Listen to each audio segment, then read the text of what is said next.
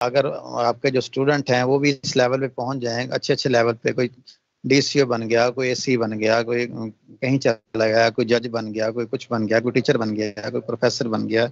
लेकिन जब भी कोई क्वेश्चन ऐसा पूछें कि कौन सा टीचर आपको मिला है तो वो आपका नाम ले। इस तरह की क्वालिटीज आपके अंदर होनी चाहिए।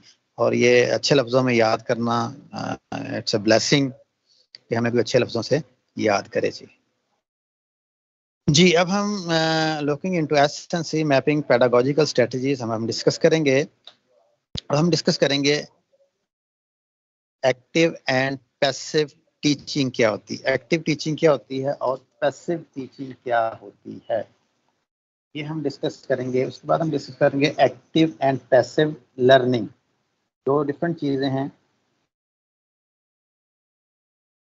Active and passive teaching and active and passive learning हम देख लेते हैं एक्टिव एंड पैसिव टीचिंग क्या होती हैं क्या क्या क्वालिटीज होती हैं एक्टिव टीचिंग कैसी होती है पैसिव टीचिंग कैसी होती है, और उसकी क्या क्वालिटीज होती हैं, वो हम ये डिस्कस कर लेते हैं।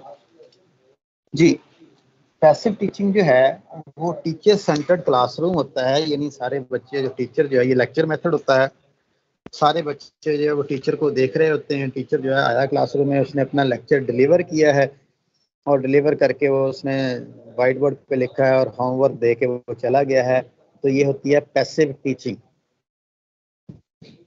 उसके बाद जो एक्टिव टीचिंग जो है वो होती है लर्नर सेंटर क्लासरूम टीचर आया है क्लास में उसने क्या किया है? बच्चों को इन्वॉल्व किया है? उसने स्टार्ट में कोई कार्टून कंसेप्ट कोई स्ट्रेटजी लगाई है जिससे बच्चों को नॉलेज चेक किया है उसने? फिर उसने आ, कोई और जो है फैट यानी फॉर्मेटिव असेसमेंट लगाई है बच्चों को नॉलेज जानने के लिए? फिर उसने उसके मुताबिक पढ़ाया है बच्चों को एक्टिविटीज़ करवाई हैं? तो ये होते हैं एक्टिव टीचिंग पैसिव टीचिंग जो है वो प्रोडक्ट सेंटर लर्निंग जो होती है, यानी उसका फोकस यही होता है टीचर आया है, उसका फोकस ये होता है कि आज तो फोर्टी मिनट्स हैं फोर्टी मिनट के अंदर मैंने अपना लेक्चर डिलीवर करना है, जो मर्ज़ी हो जाए, किसी को समझ आती है, आए, नहीं आती है, ना आए, अपना पढ़ाया और पढ़ा के चला गया। यानी वो प्रोडक्ट सेंटर लर्निंग होती है, उसने बच्चों की कोई इन्वॉल्वमेंट नहीं करवाई है, या करवाई है तो बहुत कम करवाई है। वो एक दो क्वेश्चन पूछ लिया हाँ जी जी बताओ, किसको समझ आ रही है, उसने हाथ खड़ा कर दिया, या हैंड रेज क्वेश्चनिंग एक दो कर ली है, वो ब्रिलियंट बच्चों ने उसका आंसर जो है वो बता दिया है और उसका चालीस मिनट पूरे हो गए हैं और वो चला गया है। तो ये होती है पैसिव टीचिंग इन कंट्रास्ट जो एक्टिव टीचिंग है, वो प्रोसेस सेंटर्ड होती है टीचर क्लास में आता है तो वो सारे अपने जो लेसन प्लानिंग है, उसके जो सारे टूल्स हैं, जो सारी एक्टिविटीज़ हैं, उसमें शामिल होती हैं, वो प्रोसेस को फोकस करता है।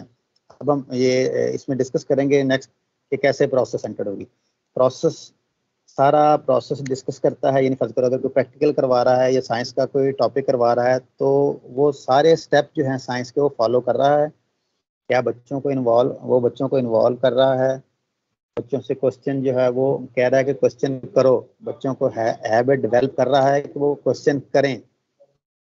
तो ये एक्टिव टीचिंग होती है, बच्चों की इन्वॉल्वमेंट करवाता है, बच्चों से एक्टिविटीज़ करवाता है और विद द टाइम जो है वो अपने एंड प्रोडक्ट की तरफ़ जाता है। ये नहीं है कि सारा कुछ पढ़ा दिया या आया क्लास में क्लास में आया तो बच्चे से, एक बच्चे से हाँ जी, चलो तू पढ़। उसने पढ़ना शुरू कर दिया जी, पढ़ के उसको कहा जी अच्छा चलो, इन्हें दस दस सारी लिख के दिखाओ। तो बच्चे बैठे हैं जो, वो लिखना शुरू हो जाते हैं। छोटी क्लास है, फत करें। अलबे है तो अलबे उसने कहा जी किस किस को आती है अलबे उसने पढ़ा दी है, पढ़ा अच्छा यानी दस बार लिखो, आप खुद बैठ गया तो ये पैसिव टीचिंग होगी, लेकिन अगर वो फोकस करता है प्रोसेस पे, उसको अगर ए बी सी है या लब्बे ए बी सी पढ़ा रहा है, छोटी क्लासेस को तो उसका कॉन्सेप्ट क्लियर करवाता है कि एप्पल क्या है, उसको डिफरेंट चीज़ें दिखाता है एप्पल की पिक्चर दिखाता है एप्पल ले आता है, उसको दिखाता है। तो ये प्रोसेस सेंट्रल लर्निंग होती है। उसके बाद पैसिव टीचिंग जो है teacher is a transmitter of knowledge teacher जो होता है वो नॉलेज को सिर्फ़ ट्रांसमिट कर रहा होता है जी। जो उसके पास नॉलेज है, वो समझा नहीं रहा होता है वो सिर्फ़ ट्रांसमिट कर रहा होता है। बच्चे उसको बैठ के सुन रहे होते हैं कि हाँ जी, आज टीचर ने क्या किया? जी टीचर ने आया जी एल पढ़ाई है या थ्री फोर फाइव क्लासेस में। उसका जो टॉपिक है मोनोकॉट और डाइकॉट उसने क्या किया है जी? आया है। उसके पास जो नॉलेज था, उसने वाइट बोर्ड पे टॉपिक का नाम लिखा है और पढ़ाना शुरू कर दिया जी। मोनोकॉट इस तरह के होते हैं जी डाइकॉट इस तरह के होते हैं। उसकी एग्ज़ाम्पल दे दिया मोनोकार्ड की ये एग्जांपल है डाई कार्ड की ये एग्जांपल है। अच्छा जी, समझ आ गई है? ठीक है, समझ आ गई अच्छा जी, चलें, इसको लिख के दिखा दें मुझे। तो ये टीचर जब ट्रांसमिट कर रहा होता है नॉलेज ये पैसिव टीचिंग होती है। इसके बरकस जो एक्टिव टीचिंग होती है teacher as an organiser of knowledge knowledge को ऑर्गेनाइज कर रहा होता है। अगर वो मानोकाट और डाइकाट पढ़ा रहा है तो उसने अपना लेसन प्लान अच्छी तरीके से तैयार किया हुआ है और उसने सारी एक्टिविटी घर से वो प्लान करके लेके आया है। कि मैंने फ़र्स्ट स्टेप में क्या करना है कौन कौन सी मैंने बच्चे को एक्टिव कर एक्टिविटीज़ करवानी है कैसे मैंने स्टार्ट करना है फ़र्ज़ करें मोनोकॉट है या डाइकॉट है वो उसके बारे में पढ़ा रहा है या उसके बारे में उसका आज लेक्चर है तो वो घर से कुछ चीज़ें मोनोकॉट बीज और डाइकॉट बीज जो है वो एग्ज़ाम्पल के तौर पे लेके आया है या मोनोकॉट डाइकॉट अगर आ, उसके लीव्स के है तो वो लीव्स भी लेके आया है वहाँ से उसको समझाता है। जो नॉलेज है, उसको ऑर्गेनाइज एक वे से लेके चलता है। ये नहीं है कि वो पढ़ा रहा है और चला गया। तो ये एक्टिव टीचिंग होती है।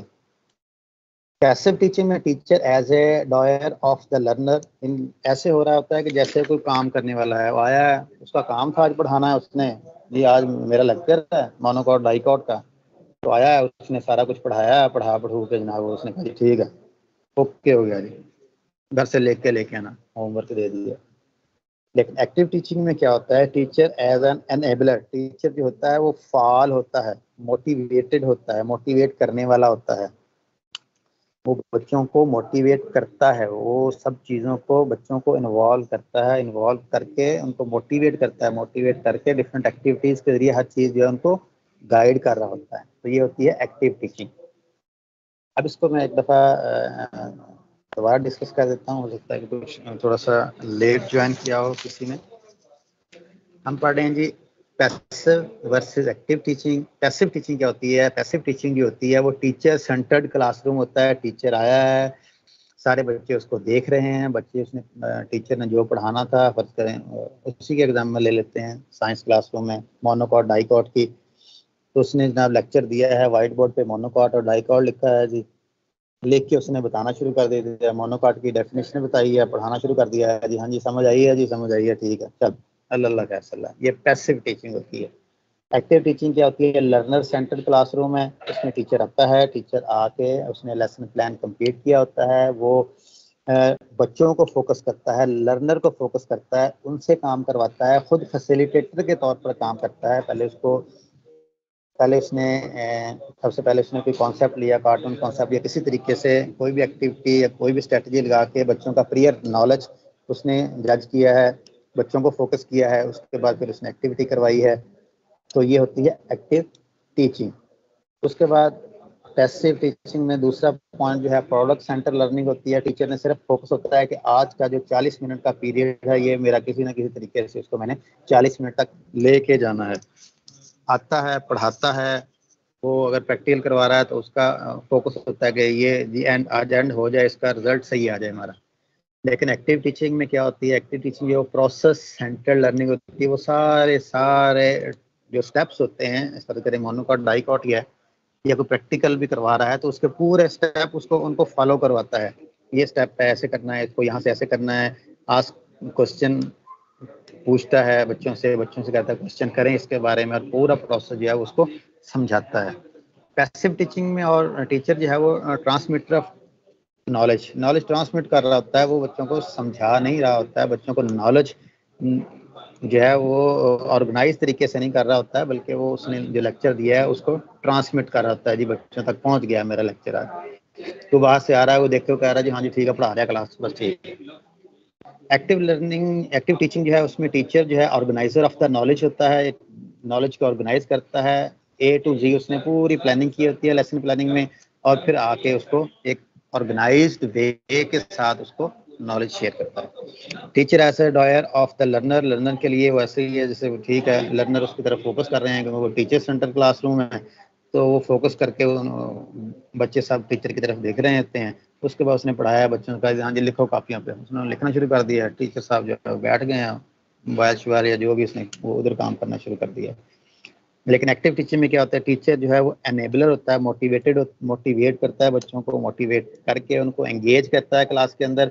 क्लासरूम में एंगेज करके वो पढ़ाता है। तो ये होती है एक्टिव टीचिंग हमने डिस्कस किया है पैसिव टीचिंग क्या होती है और एक्टिव टीचिंग क्या होती है। जी मुझे चैट बॉक्स में लिखिएगा क्या आपको एक्टिव टीचिंग और पैसिव टीचिंग की समझ आ चुकी है?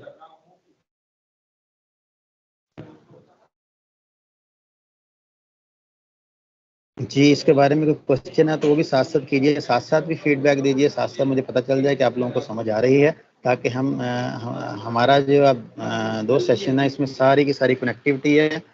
इसके बाद एक्टिव टीचिंग पैसिव टीचिंग की हम एग्ज़ाम्पल भी करेंगे और हम असेसमेंट स्ट्रेटजी जो है आपके एसेंस से और टेक्स्ट बुक जो है, वहाँ से कोई टॉपिक लेंगे टॉपिक लेके हम उसको इम्प्लीमेंट करके आपको एज ए दिखाएँगे कि क्या है ये चीज़। चलें जी ये आगे हैं आप लोगों के चैट बॉक्स में आना शुरू हो गए हैं जी, आप लोगों को समझ आ गई है। अब मुझे आप लोग जो है, आपने क्वालिटीज़ लिखनी है एक्टिव जो टीचिंग होती है, उसके आपने थ्री पॉइंट कोई से लिखने हैं कि एक्टिव टीचिंग कैसी होती है। कैसा उसका क्लासरूम होता है, क्या उसकी जो भी मैंने आप लोगों को समझाया है कि व्हाट इज़ एक्टिव टीचिंग तो आपने थ्री पॉइंट्स जो हैं वो लिखने हैं एक्टिव टीचिंग के चैट बॉक्स में लिखिएगा। कॉपी पेंसिल लीजिए, उस पर लिख लीजिए, या चैट बॉक्स में लिख दीजिए। आपने एक्टिव टीचिंग जो है, उसके आपने थ्री पॉइंट जो है वो बताने हैं कि एक्टिव टीचिंग होती क्या है। या कह लेंगे प्रॉपर्टीज़ क्या होती हैं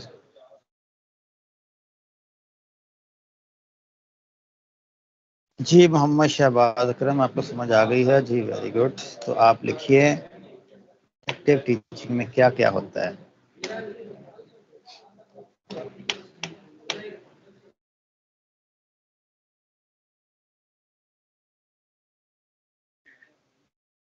जी लिखिए चैट बॉक्स में।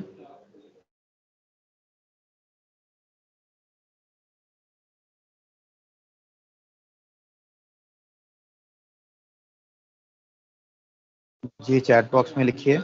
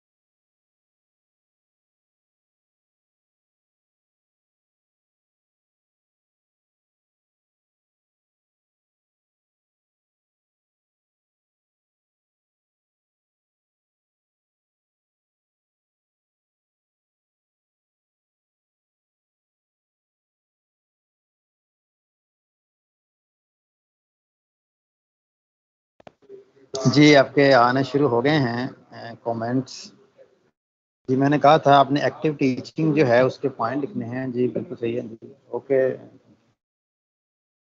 जी, लिखा हुआ है, जी मोहम्मद शाहिद है। Good teacher must be cooperative punctual having great interaction ये आपने टीचर की लिखी हुई है। मैंने एक्टिव टीचिंग की कहा। टीचर की नहीं लिखनी टीचिंग की लिखनी है। जैसे टीचिंग एक्टिव टीचिंग क्या होती है, जिसमें लर्नर सेंटर क्लासरूम होता है, जिसमें प्रोसेस सेंटर लर्निंग होती है, जिसमें टीचर जो है as an organiser of knowledge होता है। ये ये वाली मैं चीज़ें पूछना चाह रहा था। कुछ ने लोगों ने लिखी हैं, स्टूडेंट्स ने।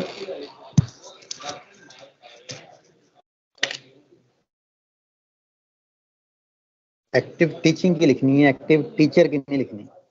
एक्टिव टीचिंग क्लासरूम की लिखनी है।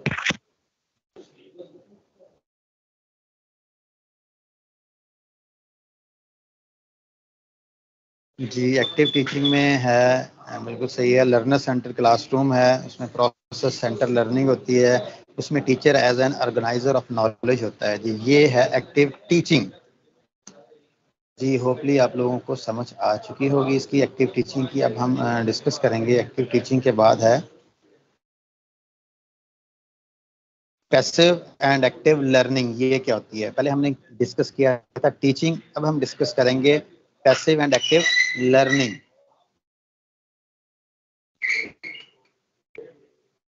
जी चैट बॉक्स में लिखिए मेरी आवाज़ आ रही है।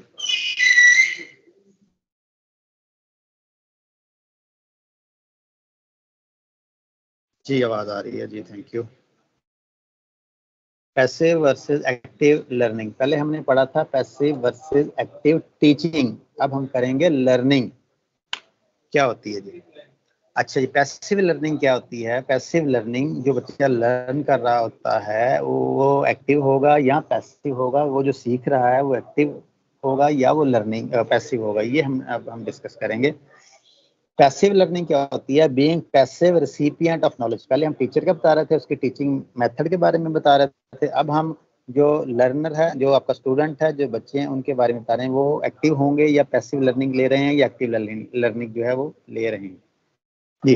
पैसिव लर्निंग में being passive recipient of knowledge यानी जैसे एक टीचर है, वो पढ़ा रहा है, लेकिन वो जो स्टूडेंट है या जो लर्नर है, वो बैठा हुआ है चुप करके, उसको समझ आ रही है या नहीं आ रही है, वो ऐसे बैठा हुआ है कि टीचर की मेरे ऊपर नज़र ना पड़ जाए तो मुझसे क्वेश्चन ना कर ले। पैसिव होकर बैठा हुआ है। वो पैसिव लर्निंग ले रहा होता है।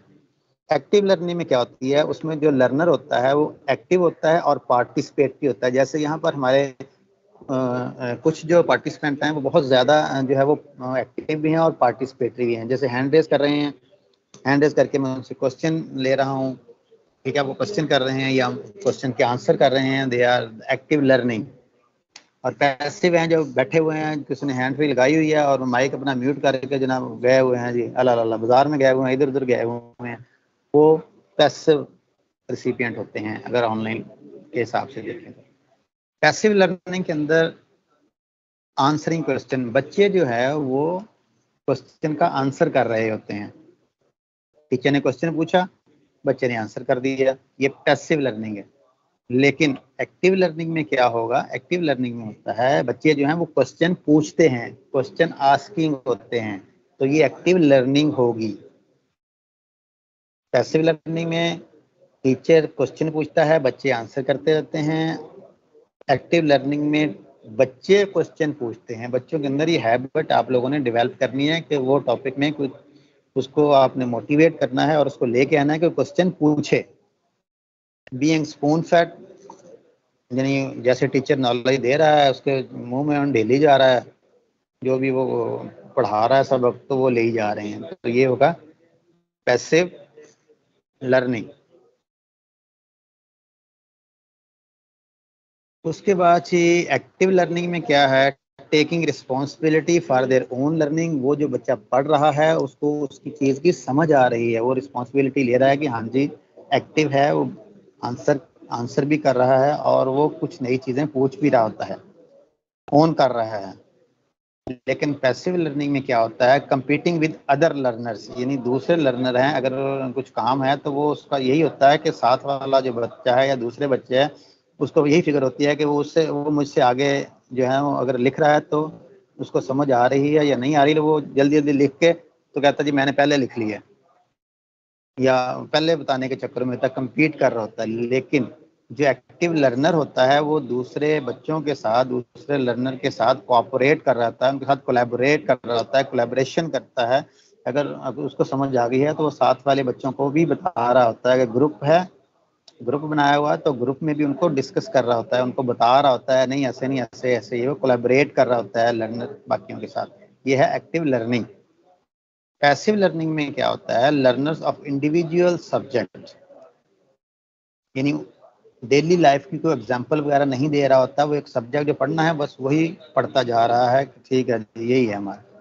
लेकिन एक्टिव लर्निंग में क्या होती है कनेक्टिंग देयर लर्निंग्स यानी अपनी लर्निंग को डेली लाइफ की एग्ज़ाम्पल के साथ वो टैग कर रहा होता है कि नहीं नहीं, ये ऐसे है, जैसे अगर फ़र्ज़ करें मोनोकॉट डाइकॉट है तो वो साथ बता रहा होता है, जी, वो वाला जो बीज है, वो डाइकॉट है, ये वाला बीज है, ये मोनोकॉट है, इसी इसमें दो डाला है या यक डाला है, या जो भी इसने बताना है वो अपनी लर्निंग के साथ कनेक्शन बना रहा होता है। तो ये होती है एक्टिव लर्निंग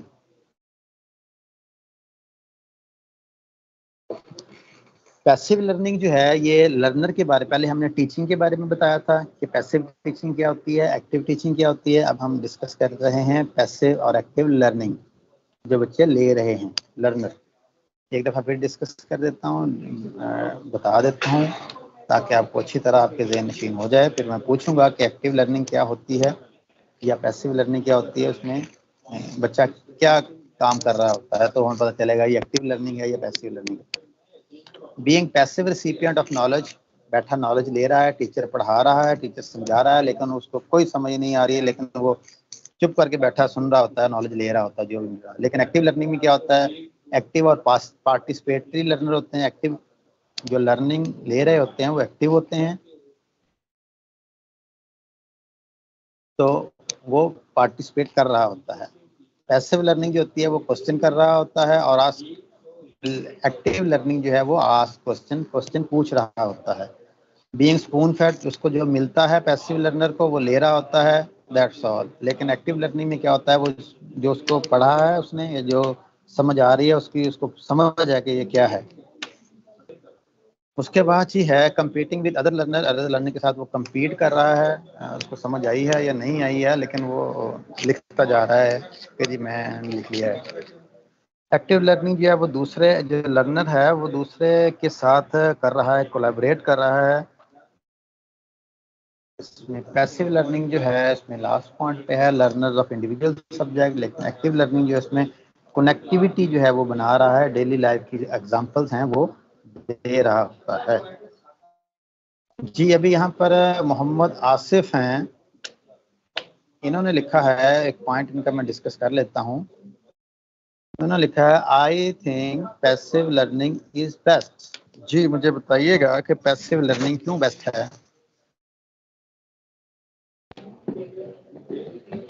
जी, मोहम्मद आसिफ, अपना माइक अनम्यूट कीजिए।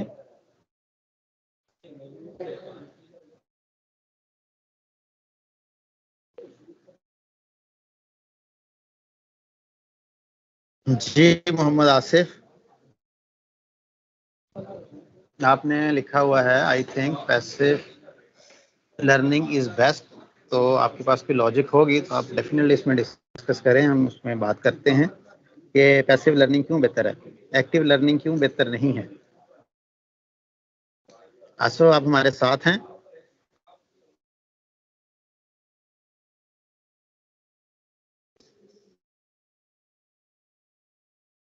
मोहम्मद आसिफ। ये खुद भी लगता है पैसे वो के बैठे हुए हैं। जी, मोहम्मद इमरान, आपका भी यही पॉइंट था। जी, आप बताइए, मोहम्मद इमरान।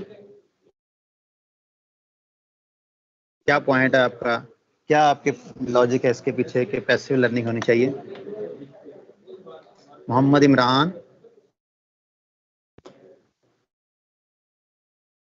देखें आपके पास हो सकता है कि इसके बारे में एक अच्छे पॉइंट्स हों। आपके पास इस चीज़ की एक लॉजिक हो कि पैसे होना ज़रूरी है पैसे होना ज़्यादा बेस्ट है। तो आप डिस्कस कर सकते हैं, इसमें कोई ऐसी बात नहीं है कि कोई हर्ज वाली बात आपके पास अगर लॉजिकल पॉइंट है तो आप हमें बताइए कि पैसिव लर्निंग जो है वो ज़्यादा बेहतर है।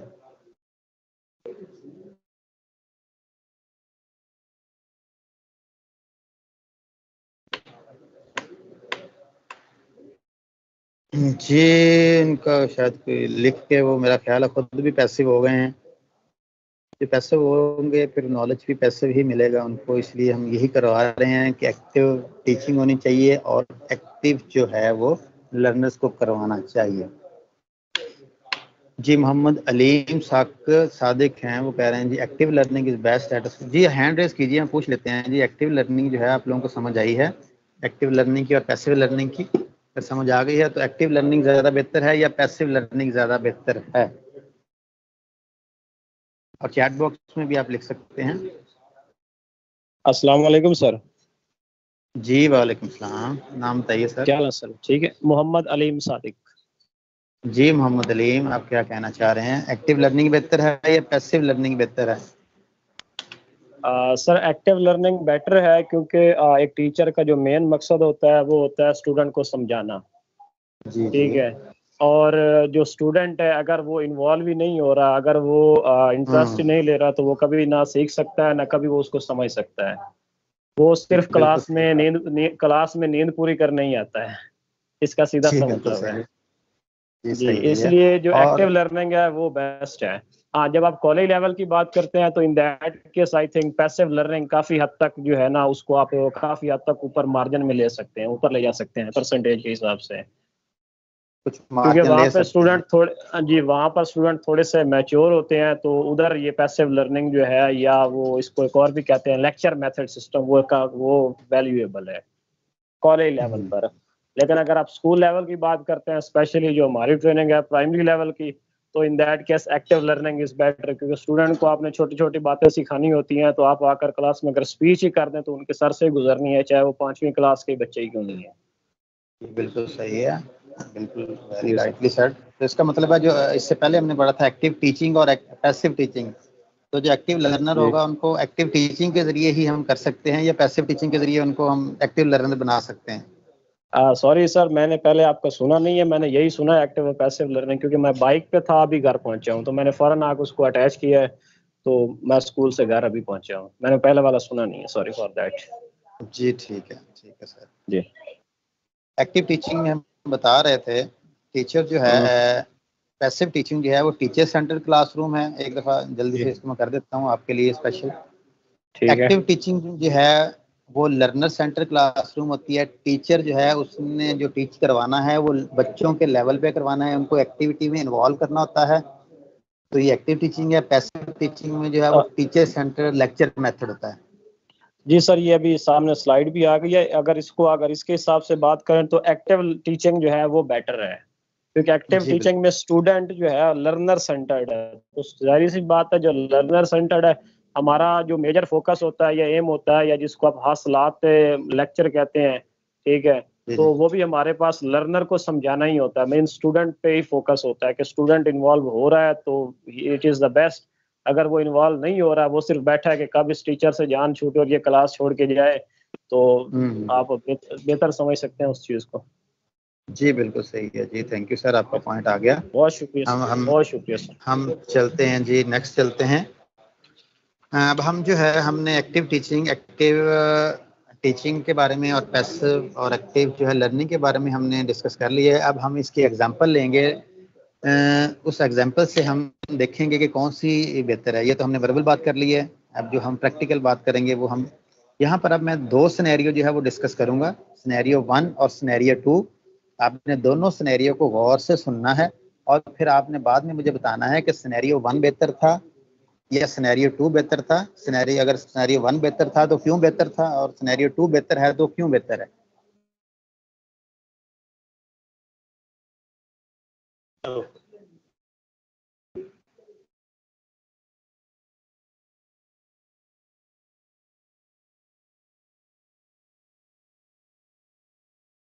जी अब हम डिस्कस कर लेते हैं जी सिनेरियो वन प्रैक्टिकल सेशन हम कर लेते हैं। Let us discuss two scenario scenario based discussion हम कर लेते हैं। फ़र्स्ट स्नेरियो है a teacher taught life cycle of butterfly she explain the four stages using black board she concluded the lesson by assigning homework write all stages of life cycle of butterfly scenario one में क्या हो रहा है? Teacher जो है, उसने butterfly की life cycle को पढ़ाया है। उसने चार स्टेजेस जो हैं, वो ब्लैक बोर्ड पे लिख दी हैं। उन बच्चों को बता दिया चार स्टेज के बारे में। उसके बाद फिर उसने होमवर्क दे दिया है बच्चों को कि बटरफ्लाई की जो लाइफ साइकिल है, उसको घर से आप लोगों ने लिख के लेके आना है। ये स्नैरियो वन है। अब हम देख लेते हैं स्नैरियो टू क्या है।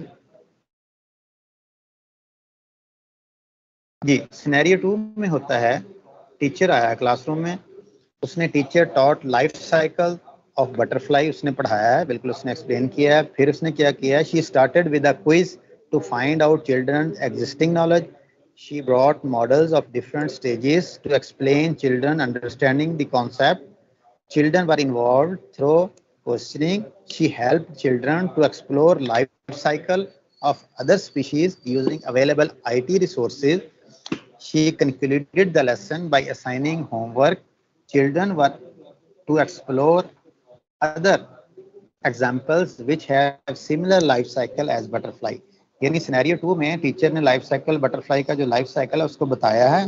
उसने सबसे पहले एक क्विज किया या कार्टून कॉन्सेप्ट या कोई भी एक क्विज उसने किया है, ताकि बच्चों का प्रीवियस नॉलेज देख सके कितना है। फिर वो मॉडल उसने मॉडल से बच्चों को समझाया है और उस कॉन्सेप्ट को मॉडल के ज़रिए समझाया है। बच्चों को इन्वॉल्व किया है क्वेश्चनिंग के ज़रिए। फिर उसने बच्चों की हेल्प की है। कि आईटी रिसोर्स मोबाइल से या टैब से, जहाँ से भी उसने हेल्प की है, बच्चों को समझाया है life cycle of other species जो इससे मिलते जुलते हैं। फिर उसने बच्चों को होमवर्क दिया है कि लाइफ साइकिल जो है बटरफ्लाई किस तरह की किस किस की लाइफ साइकिल है, वो आपने घर से लिख के लेके आनी है। These are the two scenarios अब मुझे आपने बताना है कि स्नैरियो वन जो है, वो बेहतर है एक्टिव टीचिंग या पैसिव टीचिंग या स्नैरियो टू जो है वो ज़्यादा बेहतर है एक्टिव टीचिंग या पैसिव टीचिंग के हवाले से। जी होपली आप लोगों को समझ आ गई होगी जो मैंने पढ़ाया है टीचिंग स्नैरियो वन और स्नैरियो टू अब मुझे चैट बॉक्स में सिर्फ़ फ़र्स्ट ऑफ़ ऑल तो यही लिखिए कि स्नैरियो वन बेहतर था या स्नैरियो टू बेहतर है।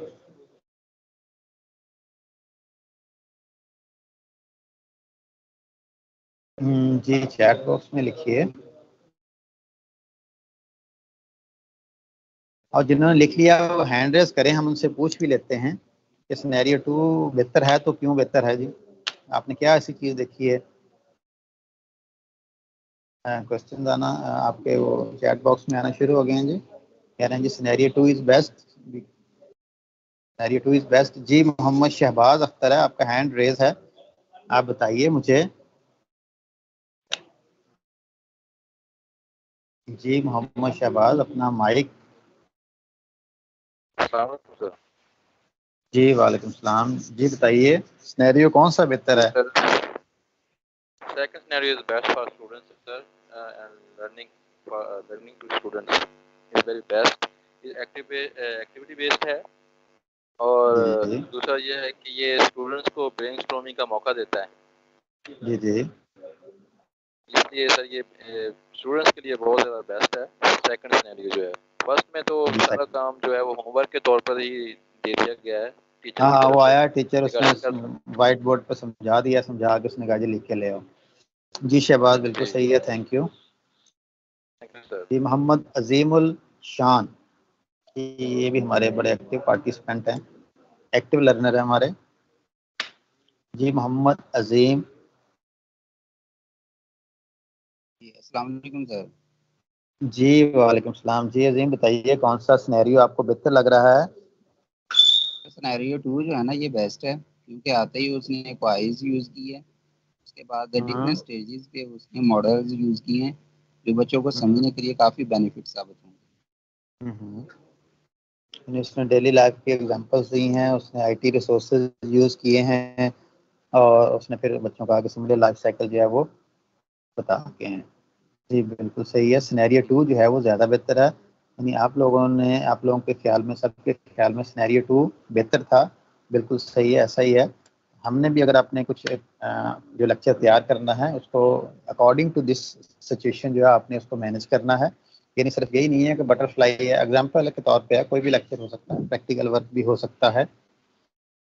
तो ये नहीं, आपने क्लास में आना है। क्लास में जाके बच्चों को सिर्फ़ जो पढ़ा दिया, पढ़ा के उसने कह दिया, जी, ये लाइफ साइकिल है इसकी फोर स्टेज है ये ये फोर स्टेज होती हैं पहली स्टेज ये है दूसरी ये तीसरी ये चौथी ये है और बच्चों कह दिया इसको लिखें और होमवर्क करके लिखें आ, आप लोगों ने स्नैरियो टू जो है आप लोगों के ख्याल में बेहतर है और ये वाकई बेहतर है तो उसमें आपने कैसे टीचिंग करवानी है? सबसे पहले तो आप लोगों ने उसमें प्रीवियस क्वेश्चन पूछने हैं प्रीवियस नॉलेज का पता चलेगा फिर आप उसकी जो डिफरेंट स्टेजेस हैं आप उनको कॉन्सेप्ट देंगे उसका फिर बच्चों को इन्वॉल्व करेंगे बच्चों से क्वेश्चन पूछेंगे और बच्चों से कहेंगे कि आप क्वेश्चन पूछें। फिर उनके जब कॉन्सेप्ट क्लियर हो जाएँगे तो फिर आप उनको कहेंगे कि आप डिफरेंट जो है लाइफ साइकिल जो है वो आ, बना के या उनको होमवर्क फिर देंगे। These are the two scenarios जो हमने डिस्कस किए हैं। जी यही हमने डिस्कस कर लिया है। What are the main differences in pedagogical strategies of the two teachers ठीक है। अच्छा जी अब हम डिस्कस करेंगे कि जो आईपीएस है, जो हमारा एलओ था कि आईपीएस जो है, इसको हमने इंटरेक्टिव पैडागोजिकल स्ट्रेटजीज लगानी है ड्यूरिंग टीचिंग साइंस तो कौन कौन सी वो आईपीएस है जो हमने लगानी है और कैसे लगानी है, ये अब हम डिस्कस करेंगे। These are the two examples ये बहुत ही इंपॉर्टेंट है, आप इसको अच्छी तरह समझेंगे तो मेरा नहीं ख्याल है कि आपको कोई प्रॉब्लम आएगा। बार बार कह रहा हूँ, ये दो जो नेक्स्ट मैं डिस्कस करने जा रहा हूँ, इसको आपने अच्छी तरह से समझना, नहीं समझाई तो आपने बार बार पूछ लेना है। तो कॉन्सेप्ट आपको क्लियर होना चाहिए। जी, हम डिस्कस कर लेते हैं। Demonstrating selected IPS for teaching science एक है इंक्वायरी बेस्ड दूसरा है डिस्कशन बेस्ड तीसरा है POE predict observe and explain उसके बाद मॉडल्स हैं, हम डिस्कस कर लेते हैं। जी डिस्कस करेंगे जी। आईपीएस इंटरेक्टिव पेडागोजिकल स्ट्रेटजीज कौन कौन सी है? पहली है इंक्वायरी बेस्ड अप्रोच दूसरी है डिस्कशन बेस्ड अप्रोच अब हम दोनों को डिस्कस करेंगे। आपका कोई साइंस का फोर ग्रेड का या फाइव ग्रेड का टॉपिक लेंगे और हमारी जो इंक्वायरी बेस अप्रोच है, हम उस जो टॉपिक आपका लेंगे, उसमें फिट करेंगे और सारी जो हाँ अब हम इसको डिस्कस करेंगे। जी फ़र्स्ट ऑफ़ ऑल है इंक्वायरी बेस अप्रोच पहले हम डिस्कस करेंगे ये होती क्या है? क्या है ये, कैसे है, क्यों है?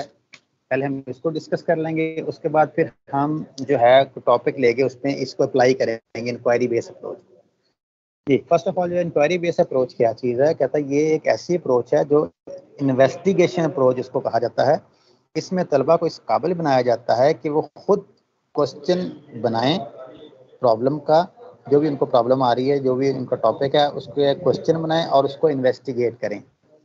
Based science डॉप investigation approach for teaching and learning science where students are provided with opportunities to investigate a problem by formulating question, gathering information in an organized manner, analyze the information to answer the question, share their result with peers. ये होता है जी inquiry base how कैसे करना है इसमें inquiry base में teacher बच्चों की गाइडेंस करता है, बच्चों की रहनुमाई करता है और उनको गाइड करता है, कैसे करता है। इसमें जो टीचर है डिफरेंट किस्म के जो क्वेश्चंस करता है, वो जो टॉपिक होगा उसके बारे में डिफरेंट किस्म के क्वेश्चन करता है। क्वेश्चन करने के बाद वो जो इन्फॉर्मेशन के लिए, जो भी इंफॉर्मेशन कलेक्ट करनी है, उसके लिए जो मटेरियल है, वो प्रोवाइड करता है टीचर वाई कैसे करनी है? Teaching strategy like inquiry activity engage student in learning process through scientific investigation. This is more likely to increase conceptual understanding along with the developing scientific attitude. कहता है इस तरह की जो इंक्वायरी बेस्ड स्ट्रेटजी होती है, उस तलबा को इंगेज करती है और लर्निंग प्रोसेस को कंप्लीट करवाती है, इससे कॉन्सेप्चुअल अंडरस्टैंडिंग डेवलप होती है। एक दफ़ा मैं इसको दोबारा रिपीट कर देता हूँ। इंक्वायरी बेस्ड अप्रोच होती क्या है? ये एक ऐसी इन्वेस्टिगेशन अप्रोच है जिसमें लर्नर्स या तलबा को इस काबिल बनाया जाता है कि वो खुद प्रॉब्लम का खुद क्वेश्चन बनाएँ और उसको इन्वेस्टिगेट करें। इसमें तलबा जो है क्वेश्चन के ज़रिए इंफॉर्मेशन इकट्ठी करते हैं और एक ऑर्गेनाइज मैनर से इकट्ठी करते हैं। कैसे करना है? उसमें इंक्वायरी बेस्ड जो अप्रोच होती है, उसमें टीचर्स बच्चों की रहनुमाई करता है या बच्चों को गाइड करता है और मुख्तलिफ़ किस्म के क्वेश्चन जो है वो करता है और उनको मटेरियल फ्राहम करता है। डाटा एनालाइज करने के लिए कोई स्ट्रेटजी भी बताता है और कंक्लूजन जो है वो ड्रॉ करता है। यानी साथ साथ उनके काम कर रहा है और उनको लर्निंग प्रोसेस में इन्वॉल्व कर रहा है। करनी क्यों है ये? इंक्वायरी बेस अप्रोच इस बेस में ये जो इंक्वायरी बेस अप्रोच है, ये तलबा को इंगेज करती है और लर्निंग प्रोसेस को कंप्लीट करवाती है और कॉन्सेप्चुअल अंडरस्टैंडिंग जो है बच्चे की वो डेवलप होती है। ये तो हो गया जी इंक्वायरी बेस अप्रोच साथ साथ मुझे फीडबैक देते रहिएगा, मैं चैट बॉक्स भी देखता हूँ कि आपको इंक्वायरी बेस जो है इसकी पता चल गया ये है क्या चीज़। अब हम एग्ज़ाम्पल लेते हैं। उसको हम एग्ज़ाम्पल को देखते हैं कि कैसे हमने इसको करना है। कैसे इंक्वायरी बेस अप्रोच हमने अपने टॉपिक पे फिट करनी है। ये है। एग्ज़ाम्पल है मीट माई शेडो टॉपिक है हमारा लाइट सब टॉपिक इसका है शेडो ग्रेड लेवल जो है four to five teaching strategy जो हमने लगानी है, वो लगानी है इंक्वायरी बेस टॉपिक है लाइट सब टॉपिक है शेडो ग्रेड लेवल है four to five teaching strategy है वो इंक्वायरी बेस है. करना क्या है? आपने, जब आपने लेसन प्लानिंग करनी है, उसमें किन किन चीज़ों का आपने ख्याल रखना है, या क्या क्या हमने इसमें डिस्कस करना है? फ़र्स्ट ऑफ़ ऑल जो है डेवलपिंग बेसिक कॉन्सेप्ट टीचर जो है वो टॉपिक को इंट्रोड्यूस करवाएगा कैसे करवाएगा? Using active method teacher introduce the topic बिल्कुल सही हो गया। अब जब टॉपिक उसने इंट्रोड्यूस करवा दिया है तो फिर क्लासरूम में डिस्कशन क्या होगी? Teacher will ask question to explore their previous knowledge यानी बच्चे से कोई क्वेश्चन करेगा, कोई भी फॉर्मेटिव असेसमेंट लगा के उसका जज करेगा कि ये इनको कहाँ तक नॉलेज है? या पूछेगा बच्चे से कि शेडो क्या है? डिफरेंट बच्चे मुख्तलिफ़ किस्म का आंसर दे सकते हैं। यानी साया क्या है? कोई बच्चा कहेगा, साया ये होता है, कोई बच्चा कहेगा, साया ये होता है। उनके जो भी क्वेश्चन जो भी उनके आंसर हो, वो आपने व्हाइट बोर्ड पे लिख लेने हैं। नो हैंड क्वेश्चनिंग के ज़रिए। देन शी ही और she will ask some responses from learners on board ठीक है बोर्ड पे लिखें। Building on learner response the teacher will introduce the concept of shadow जब उनके रिस्पॉन्स आ जाएँगे चार पाँच बच्चों के तो फिर कॉन्सेप्ट जो है वो इंट्रोड्यूस करवाएगा कि शेडो क्या होता है। शेडो कैसे बनता है, ये थोड़ा सा उनको इंट्रोडक्शन उसका देगा। पहले पॉइंट पे। उसके बाद क्या करना है, उसके बाद करना है जी फॉर्मुलेटिंग एक क्वेश्चन फिर एक क्वेश्चन बनाना है टीचर ने। But do they want to learn by conducting this investigation यानी इस इन्वेस्टिगेशन से करना क्या चाहते हैं? ठीक है, ये टीचर के माइंड में है। फिर क्लासरूम में डिस्कशन क्या होगी इस पॉइंट के हवाले से? उसके बाद टीचर पूछेगा teacher will ask learners to share what they would like to know more about the concept of shadow यानी शेडो जो कॉन्सेप्ट है, या साया है, उसके बारे में और क्या जानना चाहते हैं? तो मुख्तलि बच्चे कहेंगे, जी, हम ये जानना चाहते हैं, ये जानना चाहते हैं, ये जानना चाहते हैं, जो भी उनके होंगे। Teacher can suggest questions for inquiry relevant to concept of और help learners to formulate inquiry question जैसे टीचर फिर क्वेश्चन करेगा कि ये जो शेडो होता है, ये नौ बजे ज़्यादा होता है सुबह को या बारह बजे ज़्यादा होता है, बता सकते हैं? जी, बच्चे कोई ना कोई आंसर करेंगे, कोई कहेगा जी नौ बजे ज़्यादा होता है, कोई कहेगा बारह बजे आता है, कोई कहेगा सुबह को ज़्यादा होता है, कोई कहेगा धम्मी ज़्यादा होता है कोई कहेगा शाम को। फिर student may have different question ठीक है, ये उनके क्वेश्चन आ गए इंक्वायरी उसके बाद करना क्या है? फिर इंफॉर्मेशन इकट्ठी करनी है। और स्टूडेंट कलेक्ट इंफॉर्मेशन यानी कैसे इन्फॉर्मेशन कैसे पता चलेगा कि नौ बजे ज़्यादा होता है या बारह बजे, उसके लिए हम साइंटिफिक प्रोसेस करेंगे बच्चों के लेवल पे। अब student will collect information by going outside at propose timing यानी सुबह स्कूल आने से पहले नौ बजे या सुबह आने से पहले वो अपना साया जो है वो देखेगा कितना है, उसको मैयर करेगा। यानी सुबह जाएगा सनी डे के अंदर मैयर शेडो करेगा एट एच बोथ लेवल यानी सुबह नौ बजे भी देख लेगा टीचर जो उसको स्केल प्रोवाइड करेगा या जो भी मटेरियल उसके लिए चाहिए होगा, उस टॉपिक के लिए वो देगा। बच्चे जो है, अपना शेडो जो है, वो मैयर कर लेंगे। फ़र्ज़ कर रहे हैं एक बच्चा जो है, वो अपना शेडो मेयर करता है। फाइव फोर फीट का या फाइव फीट का फाइव फीट कर लेते हैं। फाइव फीट है वो लिख लेता है जी कॉपी पे। सारे बच्चे अपना अपना लिख लिए सबने। ठीक है? फिर जाएगा बारह बजे बच्चे। उस वक्त उन्होंने शेडो जो है, वो मैयर कर लिया कितना है। तो उसके बाद एनालाइज एनालिसिस ऑफ़ इंफॉर्मेशन यानी अब इंफॉर्मेशन को हमने एनालाइज करना है कि क्या ये इंफॉर्मेशन हमारी ठीक भी है या नहीं ठीक है। और वुड द दे एनालाइज कैसे करेगा ग्राफ के ज़रिए भी कर सकते हैं पिक्चर के ज़रिए भी कर सकते हैं आंसर क्वेश्चन के लिए डिफरेंट तरीके होते हैं एनालाइज करने के। अब क्या करेंगे जी? डिस्कशन क्या होगी? Student will compare the shadow lengths taken both point and match it with their actual height यानी उसकी जो एक्चुअल हाइट थी, उससे मैच करेगा।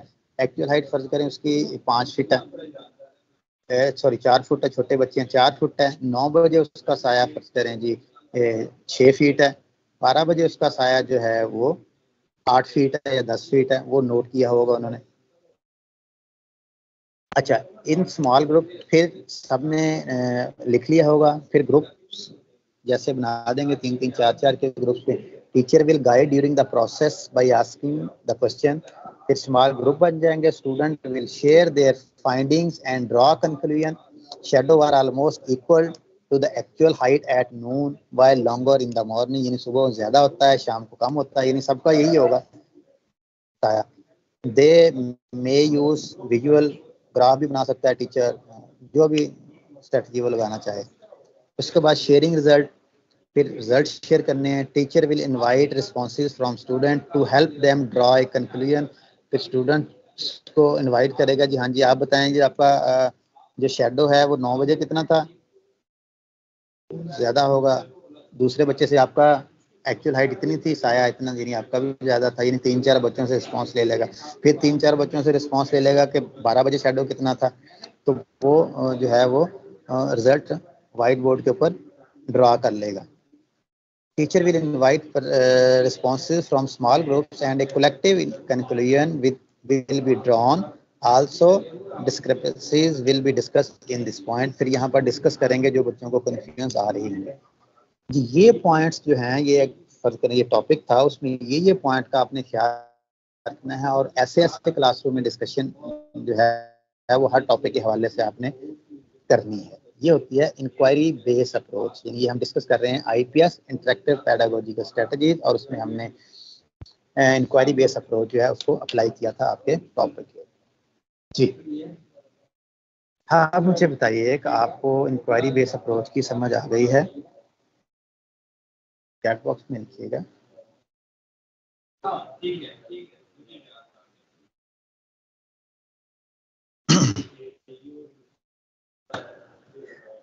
कुछ टॉपिक पे आपको इंक्वायरी बेस अप्रोच लगानी पड़ेगी, कुछ पे आपने दूसरी अप्रोच डिफरेंट अप्रोचेज जो है वो आप लगा सकते हैं।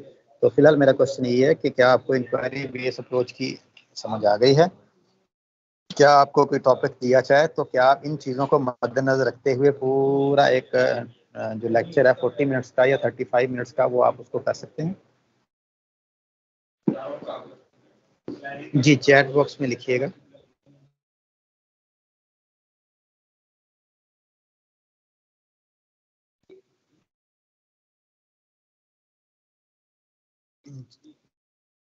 जी लिखिएगा चैट बॉक्स में।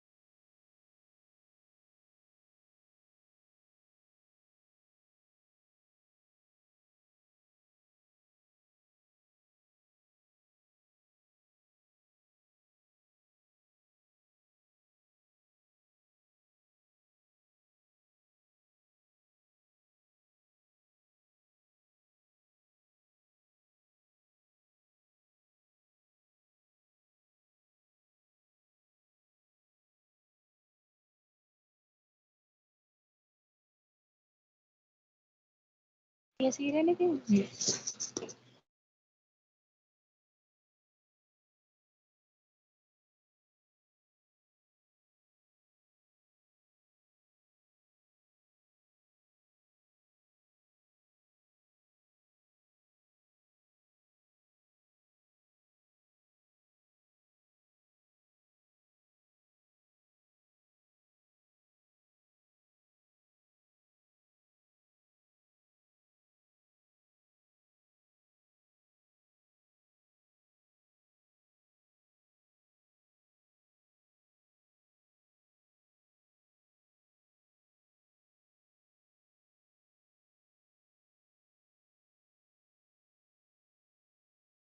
जी, आपके रिस्पॉन्स आना शुरू हो गए हैं जी चैट बॉक्स में। जी, मोहम्मद अजीम शान कह रहे हैं, जी समझ आ गई इंक्वायरी बेस्ड अप्रोच की।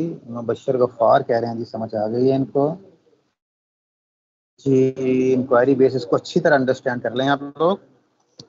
ताकि ये आप लोगों को लिखने हैं तो कॉपी पेंसिल भी आप लिख भी सकते हैं, क्योंकि आपने लेसन प्लान करना है तो आपको पता होना चाहिए कि कौन सी अप्रोच हमने यूज़ करनी है।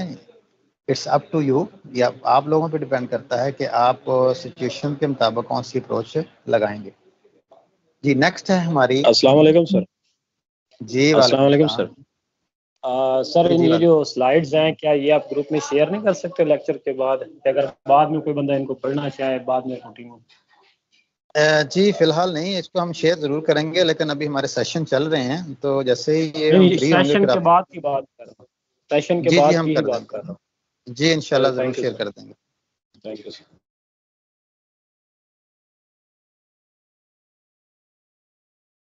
अच्छा जी अब हम दूसरी जो इंक्वायरी है पहला हम डिस्कस किया है इंक्वायरी बेस्ड अप्रोच अब हम डिस्कस करते हैं जी डिस्कशन जी डिस्कशन बेस्ड अप्रोच क्या होती है अब हम इसके बारे में देख लेते हैं जी ये है क्या चीज़? क्या है कैसे है और क्यों है? क्यों लगानी है हमने? हमारे लिए ये डिस्कशन बेस्ड अप्रोच क्यों ज़रूरी है? या इंक्वायरी बेस्ड अप्रोच क्यों ज़रूरी है? हमें क्या फ़ायदा होगा क्या नहीं होगा? इसके बारे में हम डिस्कस कर लेते हैं। ये डिस्कशन बेस्ड अप्रोच है इसमें कहता है व्हाट है क्या चीज़ ये? इस टेक्निक में या इस जो डिस्कशन बेस्ड अप्रोच है उसमें टीचर बच्चों से कोई भी टॉपिक के ऊपर डिस्कशन करता है। Discussion can B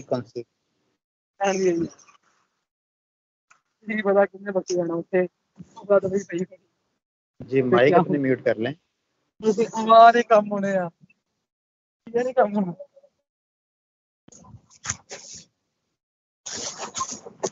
mic mute कर लें जी अपने होता ये है कि पहले हमारी इन्वॉल्वमेंट नहीं होती है फिर हम एंड पे ये कहते हैं जी ना तो सानू समझ आई है तो ना ही ਇਹਦਾ कोई फायदा ना ये क्लासरूम में अप्लाई हो सकती है कोई फ़ायदा नहीं है तीन दिन ज़ाया किए साढ़े। तो होता क्यों है?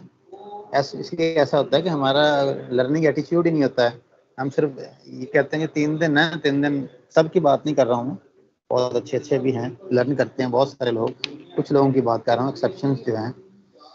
वो तीन दिन जो है अटेंडेंस के लिए होते हैं। जी अटेंडेंस हो जाए, हमारी ऑनलाइन अटेंडेंस हो गई है, बस ठीक है सर्टिफिकेट मिल जाएगा। लर्न करने के लिए वो नहीं आते तो दुख होता है चीज़ों का। बहुत बड़ा प्रोजेक्ट है गवर्नमेंट का और ये बहुत ही अच्छी चीज़ है। जी व्हाट है क्या चीज़? Discussion can be consider as a science talk in a science classroom where student attempt to come up with an answer to pose question based on observation idea and reasoning these can be question that a teacher और learner come up with discussions are vital in enabling the learners to develop their ideas and thinking and to make progress because ideas may be shaped and structured through active discussions. इस technique में जो है किसी topic पर teacher जो है वो बच्चों से डिस्कशन करता है अपना आइडिया शेयर करता है और उनके व्यूज़ लेता है और पता चलता है कि बच्चों को इसके बारे में कितना नॉलेज है बच्चों की जो मेंटल लेवल है उसको चेक करता है उसके बारे में क्वेश्चनिंग जो है आ, उसको पता चल जाता है कि बच्चों को हमने कहाँ तक लेके चलना है और उनका लेवल ऑफ़ अंडरस्टैंडिंग क्या चीज़ है? डिस्कशन में। अब हाउ करना कैसे है? The role of a teacher is a facilitator who must resist giving students the answer as much as possible यानी टीचर जो है वो लर्नर्स या तलबा से बारी बारी टॉपिक के मतलब पूछेगा क्वेश्चन करेगा और उनसे जवाब लेगा, उनको मोटिवेट करेगा कि आप क्वेश्चन पूछें। Teacher can guide students by presenting a trigger यानी कोई क्वेश्चन करके पूछ सकता है bringing attention to idea presented by certain student who are overlook जो बच्चे ओवरलुक हो जाते हैं, उनसे क्वेश्चन पूछ लेगा हाँ जी, आप बताएँ जी हाँ जी, आप बताएँ जी हाँ जी, आप बताएँ। इन डिफरेंट क्वेश्चनिंग के ज़रिए आइडिया जो है वो लेगा। अच्छा वाई करना क्यों है? The discussion helps students in construction of knowledge. When students take part in the science talk, they are directly involving the scientific process. जब वो साइंस टॉक में पार्टिसिपेट कर रहा होता है तो इसका मतलब है वो साइंटिफिक प्रोसेस में इन्वॉल्व हो रहा है बच्चा जी इसको मैं रिपीट कर देता हूँ कि डिस्कशन बेस अप्रोच है क्या चीज़ इस टेक्निक में टीचर साइंस क्लास में किसी भी टॉपिक के ऊपर डिस्कशन करते हैं अपना आइडिया या ऑब्जर्वेशन या रीजनिंग बताएँगे सारे। बच्चों से डिस्कशन कर देंगे। डिस्कशन बच्चों को इस काबिल बना देती है कि वो सोचें कोई आइडिया दें कोई डिस्कशन करें कोई ब्रेन करें ताकि बच्चों की मेंटल लेवल जो है वो डेवलप हो। कैसे करना है? टीचर जो है वो क्वेश्चन करे आ, कोई भी टॉपिक के ऊपर डिस्कस करेगा और बच्चों से कहेगा कि आपको इसके बारे में क्वेश्चन करो। करना क्यों है? ताकि बच्चों का नॉलेज बिल्ड हो सके साइंस टॉक के अंदर इन्वॉल्व हों और साइंटिफिक प्रोसेस को इन्वॉल्वमेंट के ज़रिए कंप्लीट किया जा सके। ये होती है जी डिस्कशन बेस्ड अप्रोच अब हम कोई आपका टॉपिक लेंगे एसएनसी और आपकी जो टेक्स्ट बुक है, उससे कोई टॉपिक लेंगे और एसएनसी के मुताबिक हम उसमें, जैसे हमने कहा था, उसकी कनेक्टिव लिंक करेंगे एक्सप्लोर लिंक करेंगे between the SNC and your text book कि क्या ये एप्लीकेबल भी है या ऐसे डिस्कशन बेस्ड अप्रोच जैसे ही रोला डाला हुआ जी, बहुत discussion based approach discussion based approach जी। अब हम एग्जांपल ले लेते हैं, जी।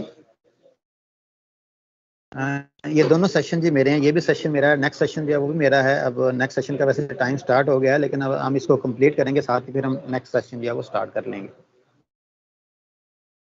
जी डिस्कशन जो है, हमारी ये है एग्ज़ाम्पल है क्या? एग्ज़ाम्पल ले लेते हैं डिस्कस द गिवन इमेज ये जो इमेज आपको तस्वीर नज़र आ रही होगी, इसको हमने डिस्कस करना है। जी टॉपिक हमारा है इन्वायरमेंट सब टॉपिक है, उसका इकोसिस्टम या हैबिटेट के बारे में जानना है। Grade level four to five है टीचिंग स्ट्रेटजी हमने इस पे लगानी है डिस्कशन पहले हमने टीचिंग स्ट्रेटजी जो है वो लगाई थी। इंक्वायरी बेस अब हम लगा रहे हैं डिस्कशन बेस अच्छा जी, ये तस्वीर नज़र आ रही है जी, ठीक हो गया। अब हम इसको अप्लाई करते हैं डिस्कशन बेस्ड अप्रोच को। ये आपने लेसन प्लानिंग में करना है सारा काम।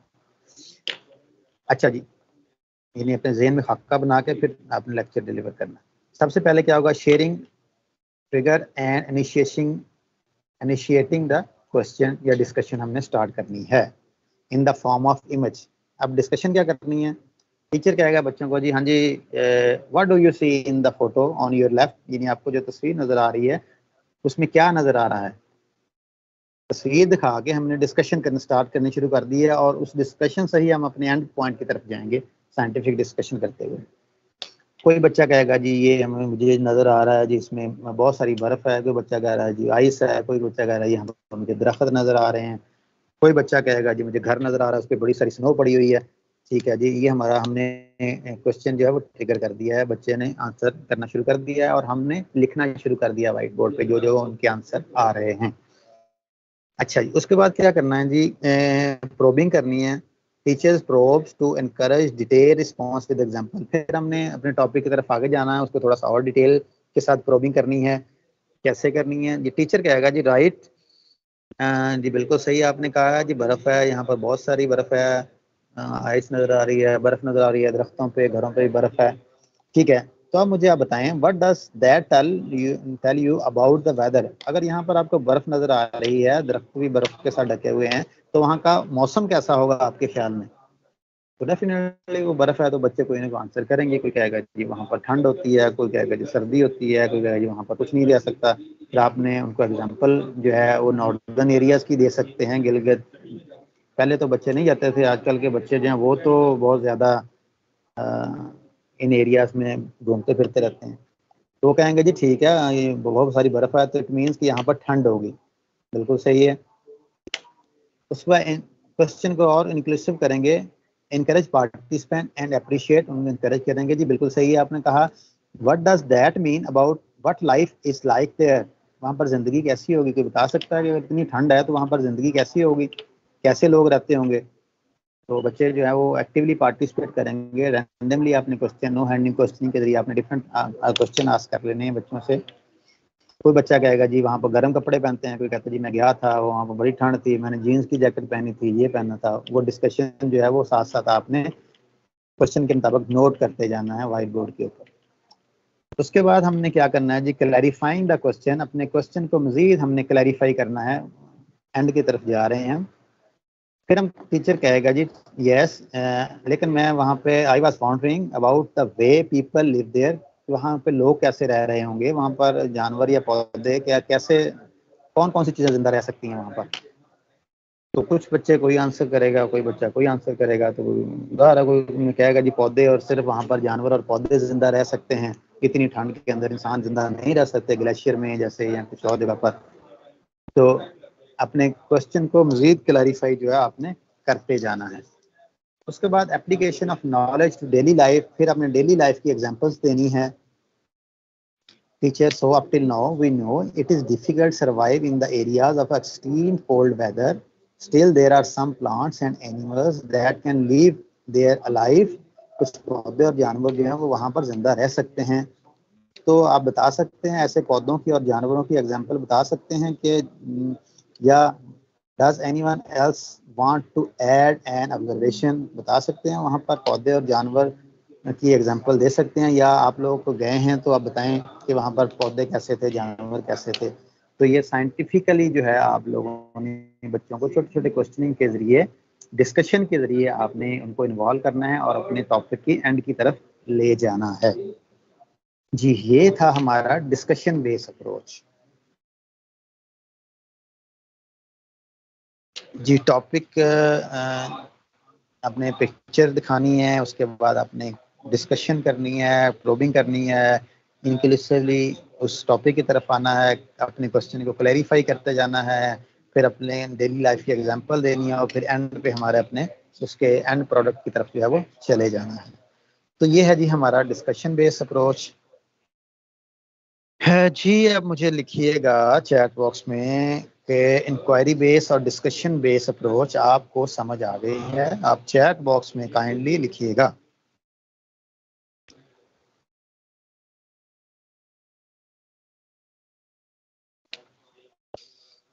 जी अभी सुबह एक क्वेश्चन आया था कि हमारे एओ नहीं ए, हमें टीचर कहता है जी पढ़ाएँ क्लास में। तो ये पढ़ाने का तरीका है क्या इसमें कोई ऐसी चीज़ तो नहीं है जिससे आप डिस्टर्ब हो रहे हैं या या बहुत ज़्यादा हैवी है या इसमें आपको कोई बाहर का जो विजिटर आएगा वो देखेगा कि आप ऐसा क्यों पढ़ा रहे हैं? जी लिखिएगा चैट बॉक्स में।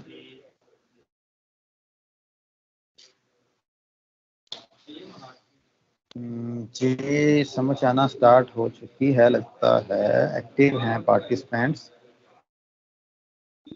जी, लिखिएगा चैट बॉक्स में। दोनों जो अप्रोचेस हैं इंटरेक्टिव पैडागोजिकल स्ट्रेटजी में आपको समझ आ गई है। जी, फारूक कह रहे हैं, जी yes both are clear Mohammad Asam कह रहे हैं, जी क्लियर है। मोहम्मद अदनान फैसल कह रहे हैं, जी क्लियर है दोनों। जी, मोहम्मद जुल्फकार कह रहे हैं, जी, समझ गए। जी क्लियर हैं, बिल्कुल सही है। ये दो अप्रोच हैं आपने लगानी है। हमने आपकी टेक्स्ट बुक से टॉपिक लिया, उसको एस के मुताबिक हमने इन दोनों का लिंक क्रिएट किया और आपको, आपकी टेक्स्ट बुक से ही जो एग्जांपल देके हमने आपको समझाया कि इसको डिस्कशन बेस्ड अप्रोच आपने कैसे लगानी है।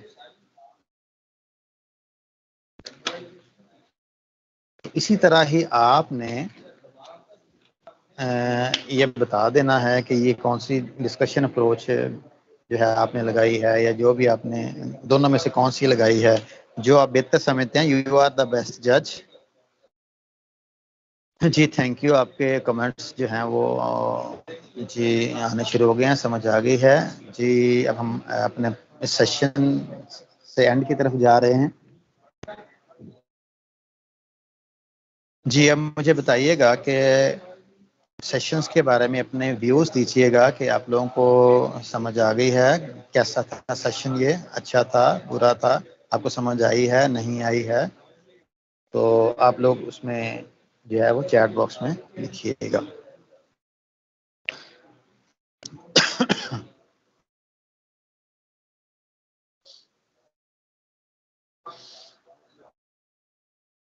फीडबैक ज़रूर दीजिएगा अपने इस सेशन का। कोशिश मैंने की है कि आपके लेवल पे आके थोड़ा सा आप लोगों को डिस्कशंस करवाऊँगा।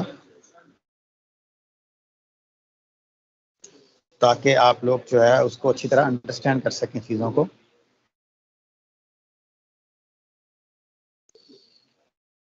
जी, इन दोनों के बारे में अगर किसी का कोई क्वेश्चन है, कोई पूछना चाह रहे हैं तो आप क्वेरीज हैं या कुछ बताना चाह रहे हैं तो आप हैंड रेज कीजिए। फिर हम नेक्स्ट चलते हैं अपने नेक्स्ट सेशन की तरफ़। दैट वाज वेरी इंपॉर्टेंट जी मोहम्मद उस्मान हैं। जी उस्मान? अस्सलाम वालेकुम सर। जी जी वालेकुम सलाम। सर ये जो ना अभी आपने बात कही कि डीओ वगैरह अगर विज़िट करता है तो हमने कैसे पढ़ाना ये वो। सर इसमें मैं एक बात ऐड करता जाऊँ कि जो डिस्कशन बेस है ना अगर आप बच्चों के साथ वैसे भी कोई बात कर रहे हो ना कर रहे होते हैं हाँ, हाँ। ऊपर से कोई डीओ आ जाए डिप्टी आ जाए या एईओ आ जाए आप बच्चों से हाँ। बात करते रहे उसको रिस्पॉन्स ना करें तो वो बड़े खुश होते हैं एक दो मतलब मैंने इसको चीज़ को जज भी किया है कि कह लो कि वो ना अक्सर होता है कि डीओ एईओ आता है तो टीचर जो है भागते सलाम लेने के लिए अक्सर जो है मुझे सुनने में तो यही आया कि सारे के सारे ना ये कह लो कि गुस्सा कर जाते हैं बाज कि यार आप क्लास छोड़ के क्यों आए हो? और कुछ लोग जो है वो खुश होते हैं। डिस्कशन किसी भी टॉपिक पे हो किसी भी टॉपिक पे हो तो अगर आप वैसी बात आम रूटीन की कोई बात कर रहे हो ना बच्चों के साथ और बच्चे चुप करके सुन रहे हो तो कोई भी ऊपर से आए हेड मास्टर आ जाए कोई टीचर आ जाए कोई भी आ जाए तो वो बड़ा कह लो कि वो खुश होते हैं कि यार कुछ ना कुछ तो बच्चों के साथ बात कर रहे हैं। हाँ जी बिल्कुल सही कहा उस्मान आपने बिल्कुल यू आर रियली सेट जो भी हमारे अफसर आते हैं, वो इस चीज़ को बहुत अप्रिशिएट करते हैं कि टीचर जो है, वो क्लासरूम में है, वो पढ़ा रहा है, कोई एक्टिविटी करवा रहा है, कुछ कर रहा है, बच्चों को कुछ लर्निंग हो रही है। जी थैंक यू उस्मान जी मोहम्मद अदनान फैसल हैं।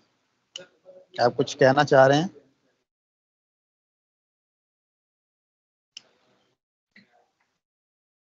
जी अदनान फैसल आपका भी क्वेश्चन है, कोई पूछना चाह रहे हैं, आपका हैंड रेज है।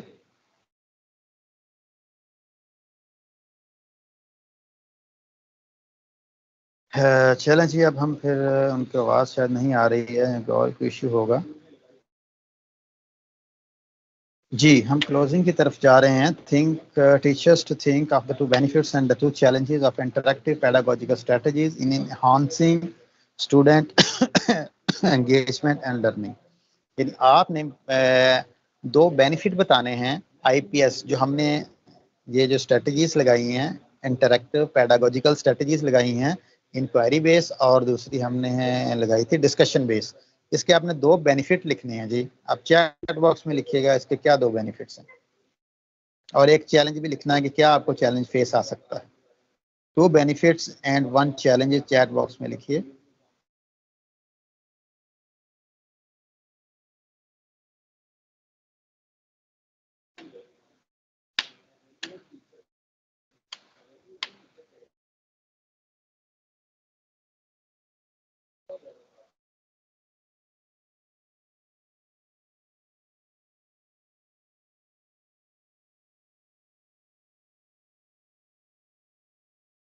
जी, मैं चैट बॉक्स देख रहा हूँ। आपने मुझे आईपीएस जो थी, उसमें आपने दो बेनिफिट लिखने हैं।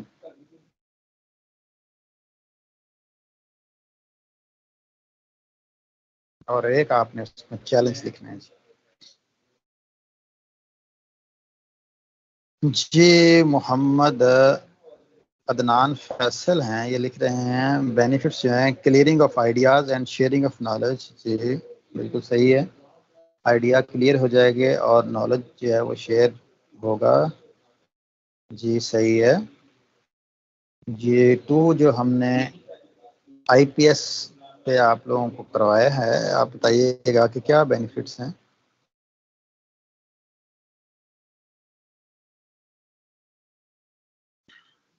जी, मोहम्मद अबू बकर हैं। In inquiry-based method, students feel free to ask any question. जी सही है. Student can share his ideas coming in his mind freely. बिल्कुल सही है. मोहम्मद अतनान कह रहे हैं जी so it is the challenge in my opinion ji challenge भी हो सकता है बिल्कुल सही है यानी क्लास ड्यूरिंग क्लास जो है बच्चे शोर कर सकते हैं बिल्कुल सही है तो उसको चैलेंज जो है वो भी फेस हो सकता है आइडियल सिचुएशन जो है वो तो कहीं भी नहीं होती है, लेकिन हमने उसको कोशिश करनी है कि मैक्सिमम जो है हम इन्वॉलमेंट बच्चों की रखे और बच्चों को, छोटे बच्चे होते हैं ना तो काबू ज़रा थोड़ा सा मुश्किल आते हैं तो उनको हमने उस हिसाब से लेके आया जी, बिल्कुल सही है। जी thank you very much for all of you आप लोग ने इतनी ज़्यादा पार्टिसिपेशन की है।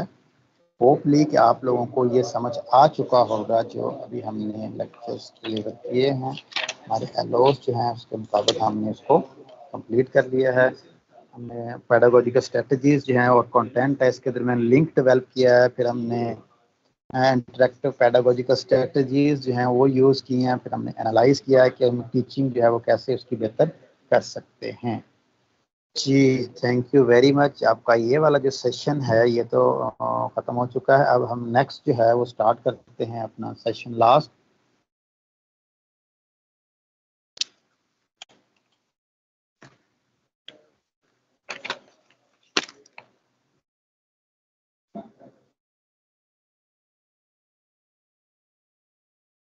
जी बिल्कुल सही है। उस वक्त तक हम जो है आप लोग इस सेशन का फीडबैक दें और आपको मैं सिर्फ़ एक मिनट दे रहा हूँ। आप लोग अपनी अपनी सीट जो हैं उससे उठें। अगर कमरे में बैठे हुए हैं तो कमरे का एक चक्कर लगा लें। अगर बैठे हैं तो खड़े हो जाएँ खड़े हैं तो बैठ जाएँ। अगर आप आ, आ, पानी पीना चाह रहे हैं तो पानी का गिलास लेके आए पी लें। नेक्स्ट सेशन स्टार्ट होने से पहले आपको वार्म अप करता हूँ एक मिनट के अंदर। जी आप सबने एक दफ़ा हिलना ज़रूर है अपनी सीट से। उठ के जाना है। बेशक बाहर ना जाए, गर्मी बहुत ज़्यादा होगी। इसी रूम में एक चक्कर लगा के आके बैठ जाए, ताकि माइंड आपका जो है वो फ्रेश हो जाए।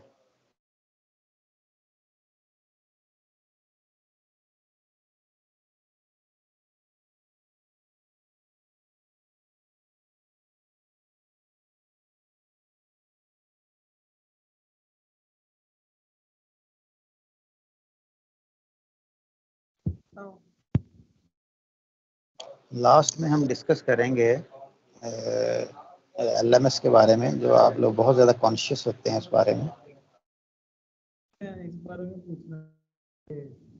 अपना को फीडबैक देना चाहता है तो हैंड रेस करें या चैट बॉक्स में भी फीडबैक लिख सकते हैं। पानी शानी पिए हैं, एक मिनट है आप लोगों के पास।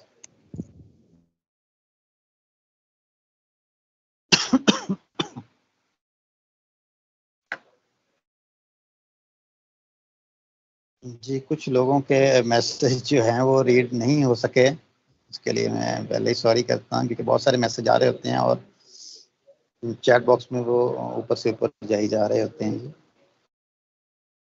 लेकिन हम देख रहे हैं, सब मैसेज जो हैं ऑब्जर्वर जो हैं, इसको ऑब्ज़र्व भी कर रहे हैं मॉनिटर कर रहे हैं किस किस का क्या क्या रिस्पॉन्स आया उसमें।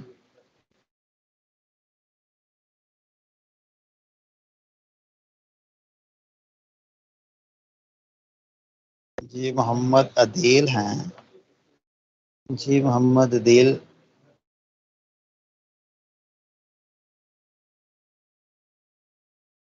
चलें जी, एक मिनट है आप लोगों के पास। अब थर्टी सेकंड हैं। अब अपनी जगह से उठें, उठ के पानी शानी पी के अब वापस आ जाएँ। फिर हम नेक्स्ट जो है वो डिस्कस करते हैं।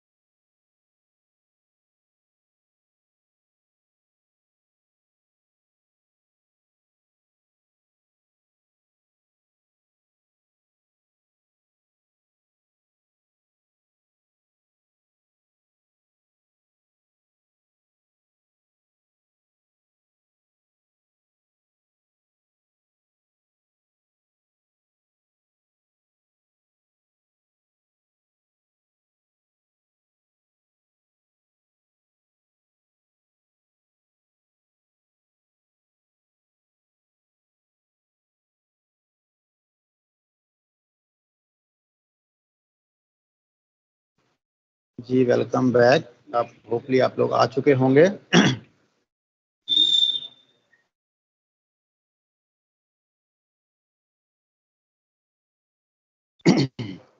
चलें जी। अब हम आइस ब्रेकर कर लेते हैं जी। चलें जी आ जाएँ आ जाएँ वापस आ गए होंगे। सारे एक मिनट हो गया है आपका। ये सिर्फ़ आपको फ्रेश करने के लिए ताकि आप एक मिनट के लिए उठें उठ के जाएँ और फ्रेश जो है वो हो जाएँ। जी। अच्छा जी आइस ब्रेकर है imagine you are living in a space station all of sudden the space station malfunctioning and you have to evacuate you are only allowed to take five items with you which item would you choose जैसे जो भी आप लेके आना चाहते हैं, यानी आप फ़र्ज़ करें, आप स्पेस स्टेशन में रह रहे हैं, अचानक स्पेस स्टेशन ने काम करना बंद कर दिया है और आपको वहाँ से निकलना है। और आप वहाँ से निकलते हुए पाँच चीज़ें अपने साथ लेके आ सकते हैं तो कौन कौन सी पाँच चीज़ें आप अपने साथ लेके आएँगे? जी चैट बॉक्स में लिखिएगा।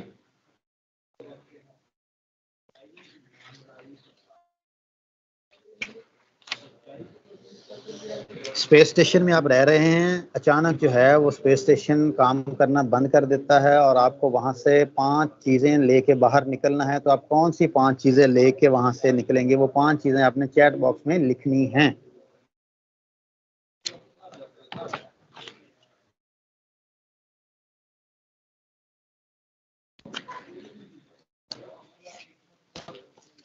ये पाँच लिखनी है, एक नहीं लिखनी, आपने पाँच लिखनी है। फिर हम इसको डिस्कस कर लेते हैं जी क्या क्या लेके आएँगे आप? मोहम्मद अदनान फैसल, एक चीज़ आप लेके हैं हमने आपको पाँच की ऑप्शन दी है, आप एक ही लेके आ रहे हैं जी। ऑप्शन आप अपना खुद सोचें ना, कोई भी आप पाँच चीज़ें लेके आ सकते हैं। आप सोचें क्या क्या हो सकता है ब्रेन होगी। स्पेस स्टेशन के अंदर आप रह रहे हैं स्पेस स्टेशन ने काम करना बंद कर दिया है और आपको वहाँ से निकलना है तो आप जल्दी जल्दी में पाँच चीज़ें कौन कौन सी लेके बाहर निकलेंगे जी। कोई भी हो सकती है।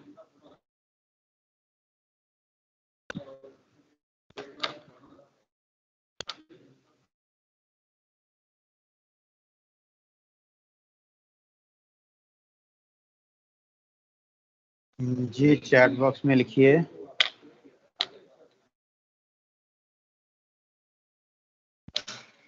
जी क्वेश्चन आना स्टार्ट हो गया जी, मोहम्मद अबू बकर हैं, वो कह रहे हैं, जी, पानी लेके आएँगे oxygen walkie talkies portable batteries information paper या हार्ड ड्राइव वगैरह, जी, बिल्कुल सही है। आपके जहन में ये पाँच चीज़ें हैं तो ये पाँच चीज़ें आप लेके बाहर आ सकते हैं। जी, ठीक है ब्रेन है आइस ब्रेकर है।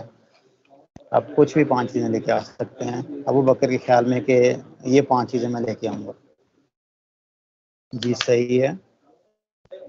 उसके बाद है जी, मोहम्मद अदील है, वो कहते हैं स्पेस सूट लेके आएँगे ऑक्सीजन टैंक लेके आएँगे रडार लेके आएँगे फ़र्स्ट एड बॉक्स लेके आएँगे फ़ूड एंड खाना।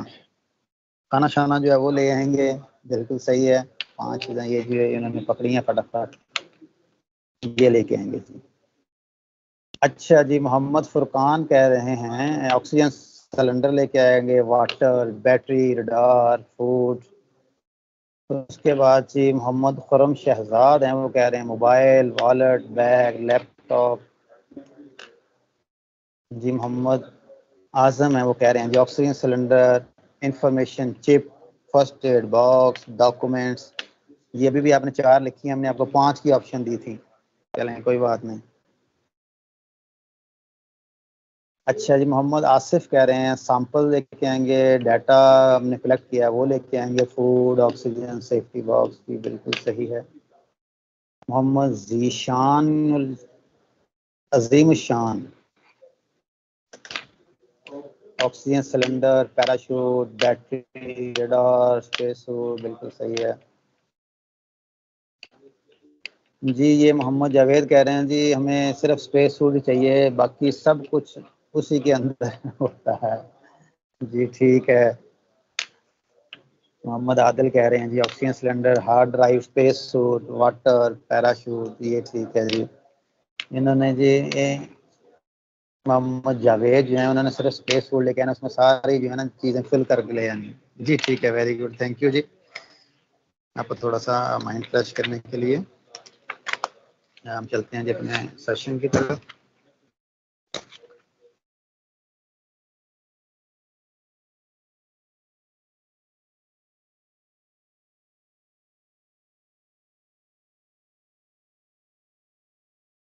अच्छा जी। सेशन सिक्स है जी micro teaching reflection and modified lesson presentation इसमें जी हमारे एलओज होंगे लर्निंग आउटकम्स हमारे होंगे। नंबर वन हम करेंगे क्या जी? By the end of this session participant will be able to implement their lesson plan in a micro teaching session practice a variety of pedagogical strategies through micro teaching appraise their peers teaching by providing constructive feedback and number of last may modify their plans in the light of peers feedback. जी, बिल्कुल सही है। उसके बाद जो पहला हमने session complete किया है जी। में the most important thing is the feedback Bill Gates जो है, वो कहता है we all need people who give us feedback that's how we improve हमें कहता है उन लोगों की ज़रूरत है जो हमें फीडबैक देते हैं, जिसकी वजह से हम इम्प्रूव करते हैं। So feedback is very very very important जिससे इम्प्रूवमेंट आती है। Feedback for effective feedback for improvement. Ji.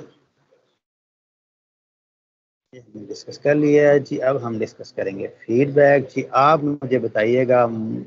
Feedback क्या होता है? हैंड रेज कीजिए अपने। और मुझे बताइए जी व्हाट इज़ फीडबैक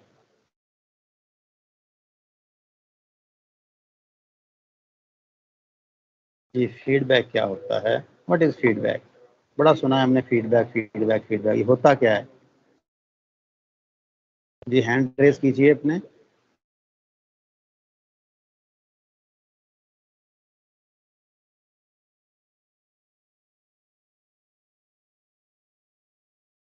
आप चैट बॉक्स में भी लिख सकते हैं जी हेड प्रेस कीजिए। वट इज़ फीडबैक जो भी आपके जहन में है, क्या होता है? टीचिंग से रिलेटेड नहीं ओवरऑल फीडबैक क्या होता है?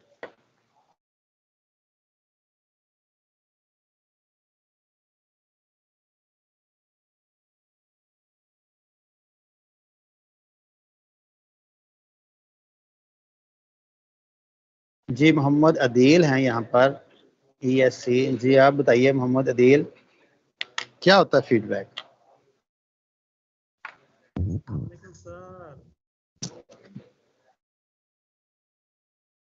जी जी आपकी आवाज़ आ रही थी। फीडबैक सर मेरे ख्याल में किसी भी आप जो टीचर है या आपके सामने जो चीज़ को जिसको आप देख रहे हैं जज करना चाह रहे हैं। जी जी। तो आप उसको अपनी नज़र में देख रहे हैं कि आपके लिहाज में किस तरह आपको गाइड कर रहा है? इस तरह क्या क्या चीज़ें ज़रूरी होती हैं? क्या क्या चीज़ें बारे में क्या उसमें अच्छाई है? क्या हाँ, उसमें अच्छाई अच्छी चीज़ें हैं? क्या बुराई है? उस प्रोडक्ट में कह लें या उस लेसन में कह लें क्या अच्छी चीज़ें हैं क्या बुरी चीज़ें हैं? उसके बारे में हमें तो- आगाही हो जाती है। हाँ जी ताकि वो जो कमियाँ हैं उन उस चीज़ों को दूर किया जा सके। जी, बिल्कुल सही है। थैंक यू जी, मोहम्मद अमजद हैं। जी, अमजद साहब, आप बताइएगा व्हाट इज़ फीडबैक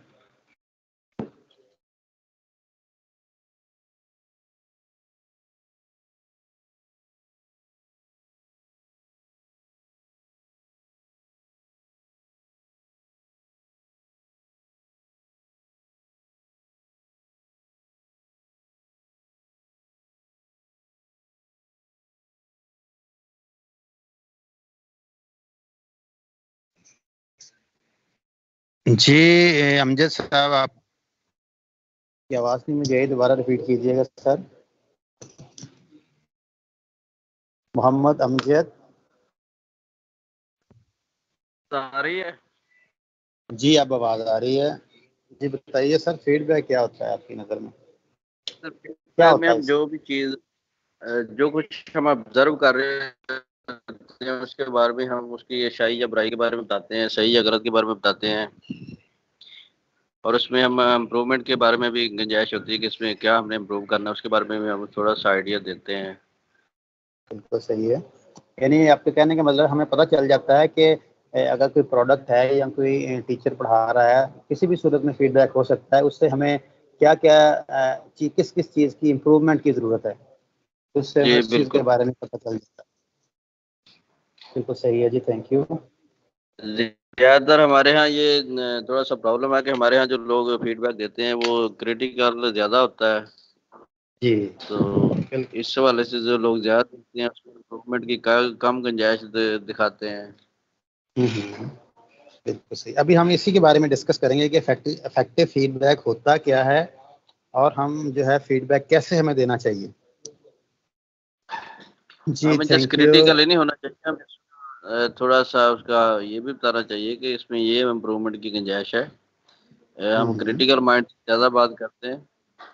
इस्लाही तरीके से कम बातें करते हैं। जी जी बिल्कुल सही बात है आपकी। ऐसा ही होता है मोस्टली लेकिन आज हम यही डिस्कस करेंगे कि इफ़ेक्टिव फीडबैक फॉर इम्प्रूवमेंट कैसा होता है और कैसा होना चाहिए। जी हम डिस्कस करते हैं जी। थैंक यू सर जी थैंक यू जी साहब। जी हम डिस्कस कर लेते हैं फीडबैक के बारे में। Effective feedback for improvement making observation not judgement यानी फीडबैक में आपने ऑब्जर्वेशन करनी है, कभी भी जजमेंट पास नहीं करनी। उसमें इफ़ेक्टिव फीडबैक के लिए कौन कौन से कंपोनेंट्स का होना ज़रूरी है, जिसकी वजह से हमारा जो फीडबैक है वो इफ़ेक्टिव होगा। Number one feedback should be specific rather than general specific होना चाहिए जनरल नहीं होना चाहिए। अगर कोई लेसन ऑब्ज़र्व कर रहे हैं तो उसके बारे में ही स्पेसिफिकली फोकस होना चाहिए। उसमें एक्स्ट्रा चीज़ें जो हैं वो नहीं आनी चाहिए। इधर उधर की चीज़ें नहीं आनी चाहिए फ़र्ज़ करें। अ, आपको अगर कहा जाता है कि आप इस क्लासरूम में आएँ और हमें इसका फीडबैक दें तो आपने इस क्लासरूम का ही फीडबैक देना है या जो भी आपको स्पेसिफाई किया जाता है कि इस चीज़ के बारे में फीडबैक दें तो आपने स्पेसिफिक फीडबैक रहना है। जनरल चीज़ों को डिस्कस नहीं करना। यानी आपको कहा गया है कि ये रूम है, इसमें आप हमें बताइए, अपनी फीडबैक दीजिए। तो आपने रूम के बारे में देना, साथ वाले रूम का या वॉशरूम का या साथ लॉन वगैरह की चीज़ें ऐड नहीं करनी है feedback should be non judgemental feedback में जजमेंट नहीं होती है जजमेंट पास नहीं करनी है। जैसे, बहुत अच्छा है जी, बहुत बुरा है, इस तरह की जजमेंट पास नहीं करनी है। स्पेसिफिक होना है नॉन जजमेंटल होना है उसके बाद है जी feedback should be balanced feedback जो है वो बैलेंस होना चाहिए, उसमें स्ट्रेंथ होनी चाहिए और उसका एरिया ऑफ़ इम्प्रूवमेंट भी। यानी आपने दो स्ट्रेंथ उसकी बतानी है और एक एरिया ऑफ़ इम्प्रूवमेंट बताना तो फिर ये बैलेंस होगा। ये नहीं आपने उसकी वीकनेसेस बताई जानी है और थोड़ी सी तारीफ़ कर देनी है। ये ऐसा नहीं है। उसका बताने का एक तरीका ये होता है। ये मैं एंड पे एग्जांपल देता हूँ बैलेंस होना चाहिए। लास्ट में है फीडबैक शुड बी एक्शनेबल होना चाहिए। Give concrete suggestions for improvement यानी इम्प्रूवमेंट के लिए उसमें सजेशन होनी चाहिए। जैसे फ़र्ज़ करें, आपको रूम की ही एग्जांपल देते हैं। इस रूम में आपको बुलाया जाता है, किसी ने इस रूम को डेकोरेट किया है तो मैं आपको बुलाता हूँ कि जी आए मुझे इस रूम का फीडबैक दें। तो आपने इन चार पॉइंटों को मद्देनजर रखना है। ये नहीं कहना कि अगर आपको फ़र्ज़ करें लग रहे हैं रूम जो है, इस रूम में दो फ़ैन लगे हुए हैं एक फ़ैन की और ज़रूरत है आपके ख्याल में? एक तो पहले आपने स्पेसिफिक रहना है, उस रूम के बारे में ही डिस्कस करना है। जजमेंट नहीं करनी कि बहुत बहुत अच्छा है जी, बहुत बुरा है। इस तरह की जजमेंट नहीं करनी। बैलेंस रहना है स्ट्रेंथ उसकी बतानी है। एक एरिया ऑफ़ इम्प्रूवमेंट बताना है और एक्शनेबल होना चाहिए। हाँ आपने सबसे पहले कहना जी ठीक है वेरी गुड बहुत अच्छा रूम डेकोरेट हुआ हुआ है। ये चीज़ें इसमें बहुत अच्छी हैं, ये चीज़ें इसमें बहुत अच्छी हैं, ये चीज़ें इसमें बहुत अच्छी हैं। लेकिन मेरे ख्याल में अगर इस रूम में ये दो फ़ैन हैं, इस रूम में एक और फ़ैन लग जाए तो सारे बच्चों को हवा अच्छे तरीके से आएगी तो रूम जो है वो ज़्यादा बेहतर हो सकता है। यानी एक्शनेबल भी है, पंखा लगने की ज़्यादा गुंजाइश है आपके ख्याल में तो पंखा वहाँ लगना चाहिए। अब ये नहीं कह देना जी यहाँ तो एसी होना चाहिए वो एक्शनेबल ही नहीं है तो वो आपका वो फीडबैक किसी खाते में नहीं जाएगा। या आप आते ही क्लास में बताना शुरू कर दें छोटा जा कमरा ज़्यादा हूँ इतों की फीडबैक देना। ऐसा भी नहीं है। या आपने कह देना जी, सारी तारीफें कर दें यार वाह जी वाह, क्या बात है जी, क्या बात है, रूम खीर होगी जी, कोई कमी नहीं, किसी चीज़ की कोई कमी नहीं जी। Very good very good very good क्या? उसके बाद आपने स्पेसिफिक रहना है जनरल नहीं होना है, उस रूम के बारे में ही बताना है, सारी चीज़ों उसी के बारे में आपने डिस्कस करनी है। ये नहीं करना जी, इसके सामने जो लॉन है, वहाँ पर आप, या अगर टीचर के बारे में कोई फीडबैक है तो उसी टीचर के बारे में फोकस आपने रहना है। और एक्शन हमेशा फीडबैक हमेशा वही देना है, जो सजेशन हमेशा वही देनी है, जिसमें इम्प्रूव किया जा सके। लॉजिकल होनी चाहिए।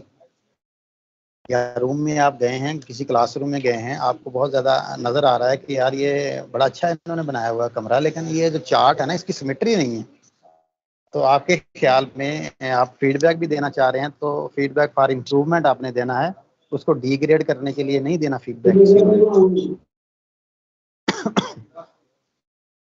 तो आपने, अगर आपको लग रहा है ये चार्ट यहाँ पर सही नहीं लगे हुए हैं, यहाँ नहीं होना चाहिए या इसका कलर ये नहीं होना चाहिए था आपके ख्याल में तो आपने पहले, सबसे पहले उसकी अच्छी चीज़ें बतानी है कि जी वेरी गुड ये रूम इन्होंने बड़ी मेहनत से डेकोरेट किया है, बड़ा अच्छा है क्लासरूम ये ये इनकी, ये ये इन्होंने बड़े अच्छे मेहनत किया ये किया ये किया, लेकिन मेरे ख्याल में ये जो चार्ट अगर यहाँ लगे हुए हैं, अगर ये उस दीवार पे लगे हुए होते तो ये ज़्यादा मेरे ख्याल से बेहतर था, उसकी वजह ये है कि यहाँ पर एक तो यानी ये साइंस लैब को कर रहा है या जो भी है, उसको कर रहा है और जो भी आएगा, सबसे पहले इस पर नज़र पड़ेगी तो ये ज़्यादा बेहतर हो सकता है मेरे ख्याल से।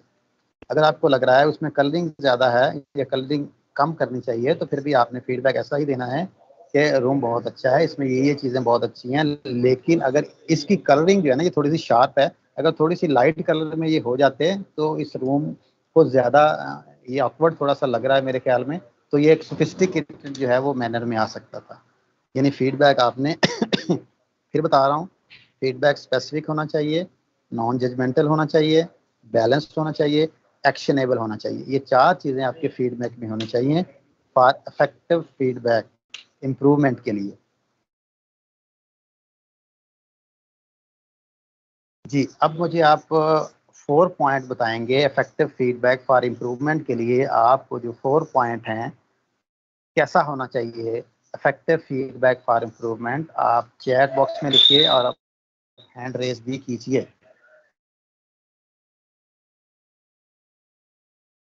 जी हैंड रेस कीजिए। मैं पूछूँगा आपसे कि फीडबैक जो है इम्प्रूवमेंट कैसा होना चाहिए?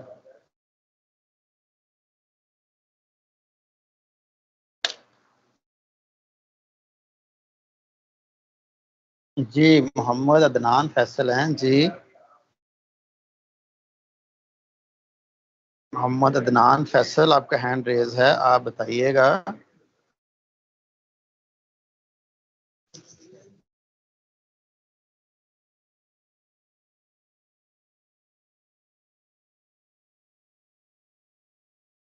जी, उनको शायद आवाज़ नहीं आ रही हमारी। मोहम्मद जुल्फ़ार अली हैं, जी जुल्फ़ार आप अपना माइक अनम्यूट कीजिए और बताइए कौन कौन से पॉइंट्स होने चाहिए इफ़ेक्टिव फीडबैक में?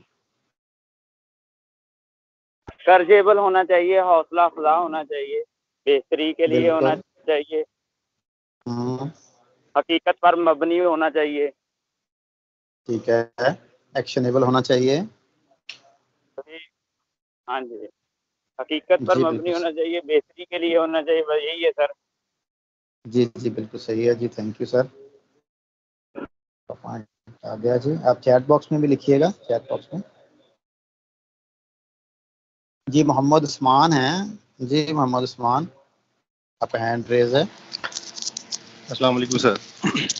जी वालेकुम सलाम जी। उस्मान बताइएगा फीडबैक कैसा होना सर सर सर सबसे पहले तो फीडबैक इसमें ये भी हमने कंसिडर करना है कि अगला बंदा जो है वो फीडबैक लेने वाला है कि फीडबैक नहीं लेने वाला सबसे पहले तो हमने ये देखना है अच्छा किसी भी चीज पे सब बाज का होता है ना कि वो फीडबैक मैं अक्सर दोस्तों को भी जानता हूँ कि फीडबैक अगर हम्म। उनको कोई फीडबैक दिया जाए ना टीचर्स हैं हम्म। उनको फीडबैक दिया जाए कि यार ये आपने ये चीज बेहतर नहीं की तेन बेहतर पता ਅਸੀਂ सही किया ਵਾ हम्म। तो चल तू इस तरह भी आगे से आंसर दे देते हैं सर इसमें बिल्कुल feedback सही है। सबसे पहले सबसे पहले तो फीडबैक में ये होना चाहिए कि बैलेंस्ड हो। बैलेंस मीन के जो चीज़ है ना उसमें वही चीज़ बताई जाए जो उन्होंने सर ने कहा अभी कि हकीकत पे मबनी होना चाहिए। लेकिन सर आजकल जो है फिर अगली बात यह आ जाती है कि हकीकत पे मबनी भी होता है हर चीज़ होती है। लेकिन फीडबैक हर चीज़ का होता ज़रूर है अच्छा हो बुरा हो। लेकिन। हमारी आजकल जो सोसाइटी है इसमें यही होता है कि फीडबैक हमेशा अच्छा ही दिया जाता है बुरा फीडबैक कोई भी नहीं देता। कि क्या लोगों ये वाला जो। है उसकी क्या लोगों ये ये आपने गलत किया गलत जो है वो बताने वाले वो नहीं बताएँगे। अगर जहाँ पे ज़रूरत हो वहाँ पे नहीं बताएँगे जहाँ पे ज़रूरत नहीं होगी वहाँ पे ये बताएँगे कि आपको ये करना चाहिए था। जी जी। और बस यही यही मेन चीज़ें होती है सर फीडबैक में और तो कुछ नहीं होता आजकल। जी बिल्कुल सही है उस्मान आपका पॉइंट आ गया। जी ये फीडबैक ज़रूरी नहीं है क्लास के लिए हम डिस्कस कर रहे हैं। हम ओवरऑल भी जो फीडबैक जैसे किसी प्रोडक्ट का है हर प्रोडक्ट में भी लिखा होता है कि फीडबैक के लिए ये पेपर दिया जाता है या हम सफ़र करते हैं, उसमें भी फीडबैक हो जाता है। तो कहीं भी जब पूछा जाता है तो आपने उसको बैलेंस रखना है हकीकत पर मबनी रखना है, बिल्कुल सही कहा है। आप लोगों ने वो चीज़ें जो हैं वो डिस्कस करनी है। एरिया ऑफ़ इम्प्रूवमेंट बताना है आपने। बहुत अच्छा जो है आपने बहुत बुरा नहीं कहना है। आपका मकसद उसको डिसार्ड करना या आपको टाउंट करना नहीं है किसी को। आपका मकसद सिर्फ़ इम्प्रूवमेंट के लिए फीडबैक देना है कि ये ये चीज़ें अच्छी हैं, लेकिन अगर इसमें ये भी चीज़ अच्छी हो जाए तो ज़्यादा बेहतर हो सकता है। हम क्या करते हैं, अगर हम जजमेंट पास कर देते हैं तो वो जजमेंट जो है फिर वो अगले बंदे को फौरी तौर पर दोबारा नेचर इंसान की। जब आप किसी को फौरी तौर पर बुरा कहेंगे तो उसके जो है ना वो सेंसर भी खड़े हो जाते हैं। तेरी ऐसी तैसी जैसे उन्होंने कहा नहीं आपने बात भी करनी है फीडबैक भी देना है मीठी गोलियाँ देनी है और उसको पता भी चलना चाहिए. जी हम एक और ले लेते हैं लास्ट में मोहम्मद आज़म हैं। हम्म, जी सर अपना जो है कैमरा ऑफ़ कर लें। ये कैमरा किसी का ऑन है वो कैमरा ऑफ़ कर लें। जी सर मोहम्मद जी सर अस्सलाम वालेकुम। जी वालेकुम सलाम। इफ़ेक्टिव फीडबैक फॉर इम्प्रूवमेंट कैसा होना चाहिए? अच्छा सर ये वाकई सर ने पहले भी बताया कि ये ना हकीक हकीकत पे मबनी होना चाहिए। और एक मेरा पॉइंट ऑफ़ व्यू ये कि हकीकत पे अगर जब हम सच बोलते हैं ना तो कुछ लोग उसका माइंड करते हैं।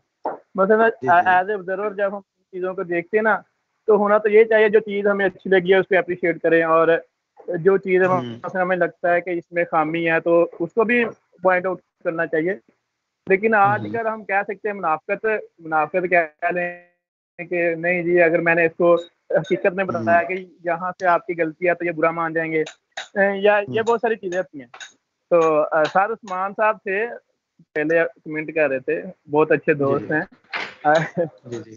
जबकि हम ट्रेनिंग कर रहे थे साथ में तो ये अक्सर मेरी जब प्रेजेंटेशन होती थी तो ये नेगेटिव ही ज़्यादा करते होते थे। अब माशाल्लाह ये थोड़े अकलमंदी से बात कर रहे थे। चलें जी, आपका पॉइंट आ गया sir thank you thank you Azam देखें, हमने जो, जब भी फीडबैक देना है फीडबैक अगर आप समझते हैं कि फीडबैक देना ज़रूरी है या फीडबैक कोई पूछ रहा है तो आपने अगर फीडबैक देना तो आपने मीठी गोली में लपेट के देना है उसको। कड़वी गोली में नहीं देना। शुगर कोटेड करके देना है उसको ताकि अगले को फील भी ना हो और आपका पॉइंट भी चला जाए। अगर आप समझते हैं कि इस बंदे में इम्प्रूवमेंट की ज़रूरत है तो आप कह सकते हैं कि यार ये बड़ा अच्छा है, ये यार ये बड़ी अच्छी ड्रेसिंग की गई है, या उसका कुछ चीज़ें तो अच्छी होती है ना हर इंसान में या हर एक चीज़ में तो वो अच्छी चीज़ें बता बता के साथ आपने एक फिक्रा भी ऐड कर देना है कि अगर यार ये चीज़ें तुम्हारी बड़ी अच्छी हैं, ये बड़ी अच्छी हैं, अगर तुम ये भी कर लो ना तो ये क्या बात है। यानी आपका पॉइंट भी चला गया, ज़रूरी नहीं है कि आपने डायरेक्ट उसके मत्थे पे मारना है फीडबैक अल्लाह ओ वजह जी। नहीं तो फीडबैक जो है उसको आपने शुगर कोटेड करके देना है। बैलेंस रखना है उसमें। जी, अमजद साहब, आप कुछ कहना चाह रहे हैं?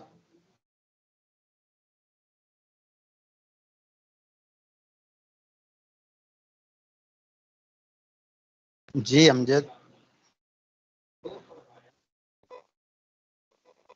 आपकी आवाज़ नहीं आ रही। साहब, आवाज़ आ रही है आपको? जी सर आपकी आवाज़ आ रही है।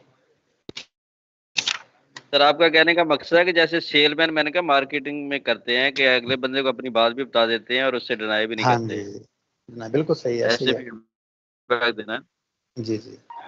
ये पर्पस यही होता है ना कि हो जाए। जी जी सॉरी जी। मैंने कहा बजाय हम सारी बातें क्रिटिकली भी कर दें उसके बेनिफिट में भी कोई उसकी शायद भी हम बयान कर दें ज़्यादातर हम उसकी जो खामी है उसी पर ध्यान रखते हैं हाँ। बिल्कुल तो, सही है। देखें हर एक नुकता नज़र होता है ना दुनिया देखने में बहुत खूबसूरत है। जो चीज़ें खूबसूरत होती है इसकी एक मैं एग्जांपल देता हूँ। एक एग्जांपल ये है कि लड़का जो है ना मुझे बात याद आ गई है अपने दादा अबू के साथ ना किसी पहाड़ी इलाके में गया। पहाड़ी इलाके में सैर कर रहा था, वहाँ पर बैठे चाय शाय पी रहे थे। तो वहाँ पर एक टूरिस्ट आया। उसने पूछा, जी, आगे चाय पी रहा? साथ साथ उसने वो दुकान वाले से पूछा कि, यार, ये, यहाँ के लोग जो हैं, मैंने विज़िट किया है, इस एरिया के लोग तो यार ये बड़े बुज़ुर्ग किस्म के हैं, इनको पूछें, कुछ इनको बताते कुछ हैं, ना इनका ठीक है, ना इनका रहन सहन ठीक है, ये वो, कैसे लोग हैं यार अजीब से? कहना जी हाँ जी, ठीक है, बिल्कुल ऐसे ही है, जैसे आप कह रहे हैं, बिल्कुल ऐसा ही है, यहाँ के लोग ऐसे ही हैं। ठीक है, चला गया। एक और आया टूरिस्ट कुत्ता आया। वो आके लगा, चाय पी रहा था, साथ उसने कह दिया कि, यार यहाँ के लोग तो बड़े अच्छे हैं यार, बड़े कोऑपरेटिव लोग हैं, बड़ा इस खूबसूरत माहौल है, लोग बड़े सादा से हैं, बड़े अच्छे लोग हैं यार।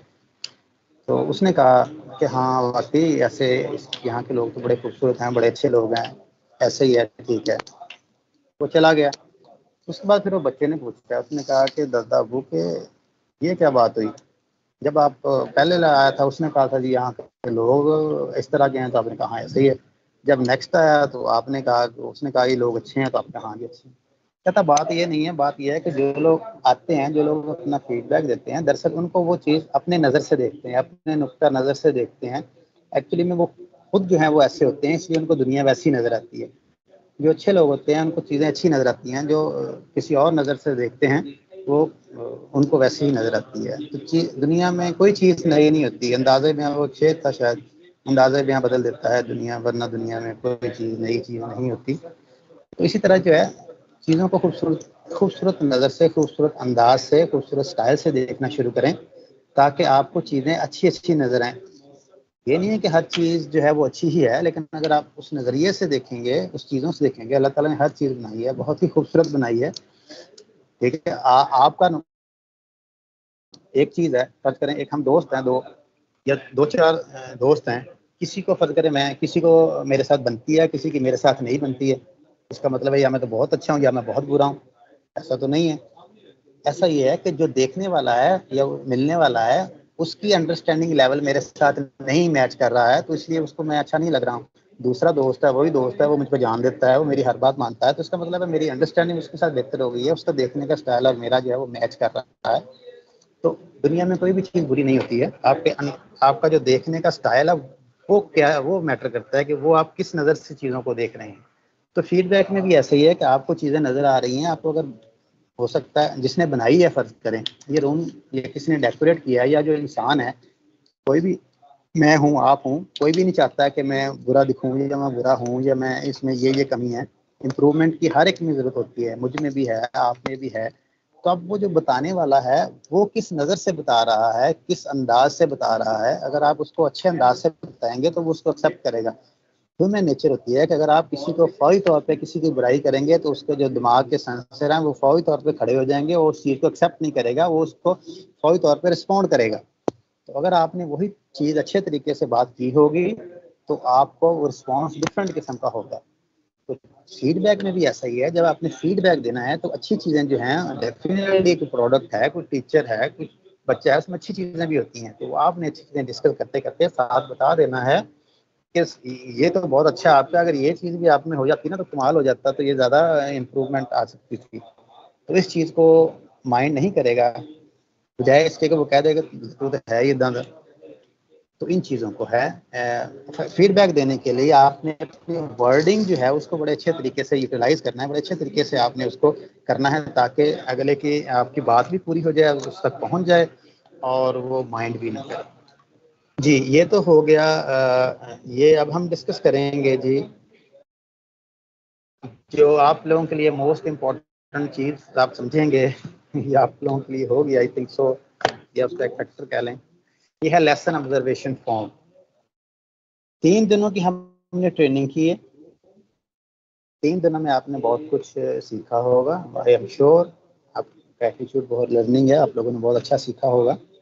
तो जब आपके पास आपके सीनियर्स आते हैं एओ साहबान आते हैं, या कोई भी आपको ऑब्ज़र्व करने वाला होता है तो ये जो नाइन पैरामीटर हैं, इसको अगर हम फुलफिल करेंगे तो आपकी ऑब्जर्वेशन कभी भी ख़राब नहीं जाएगी।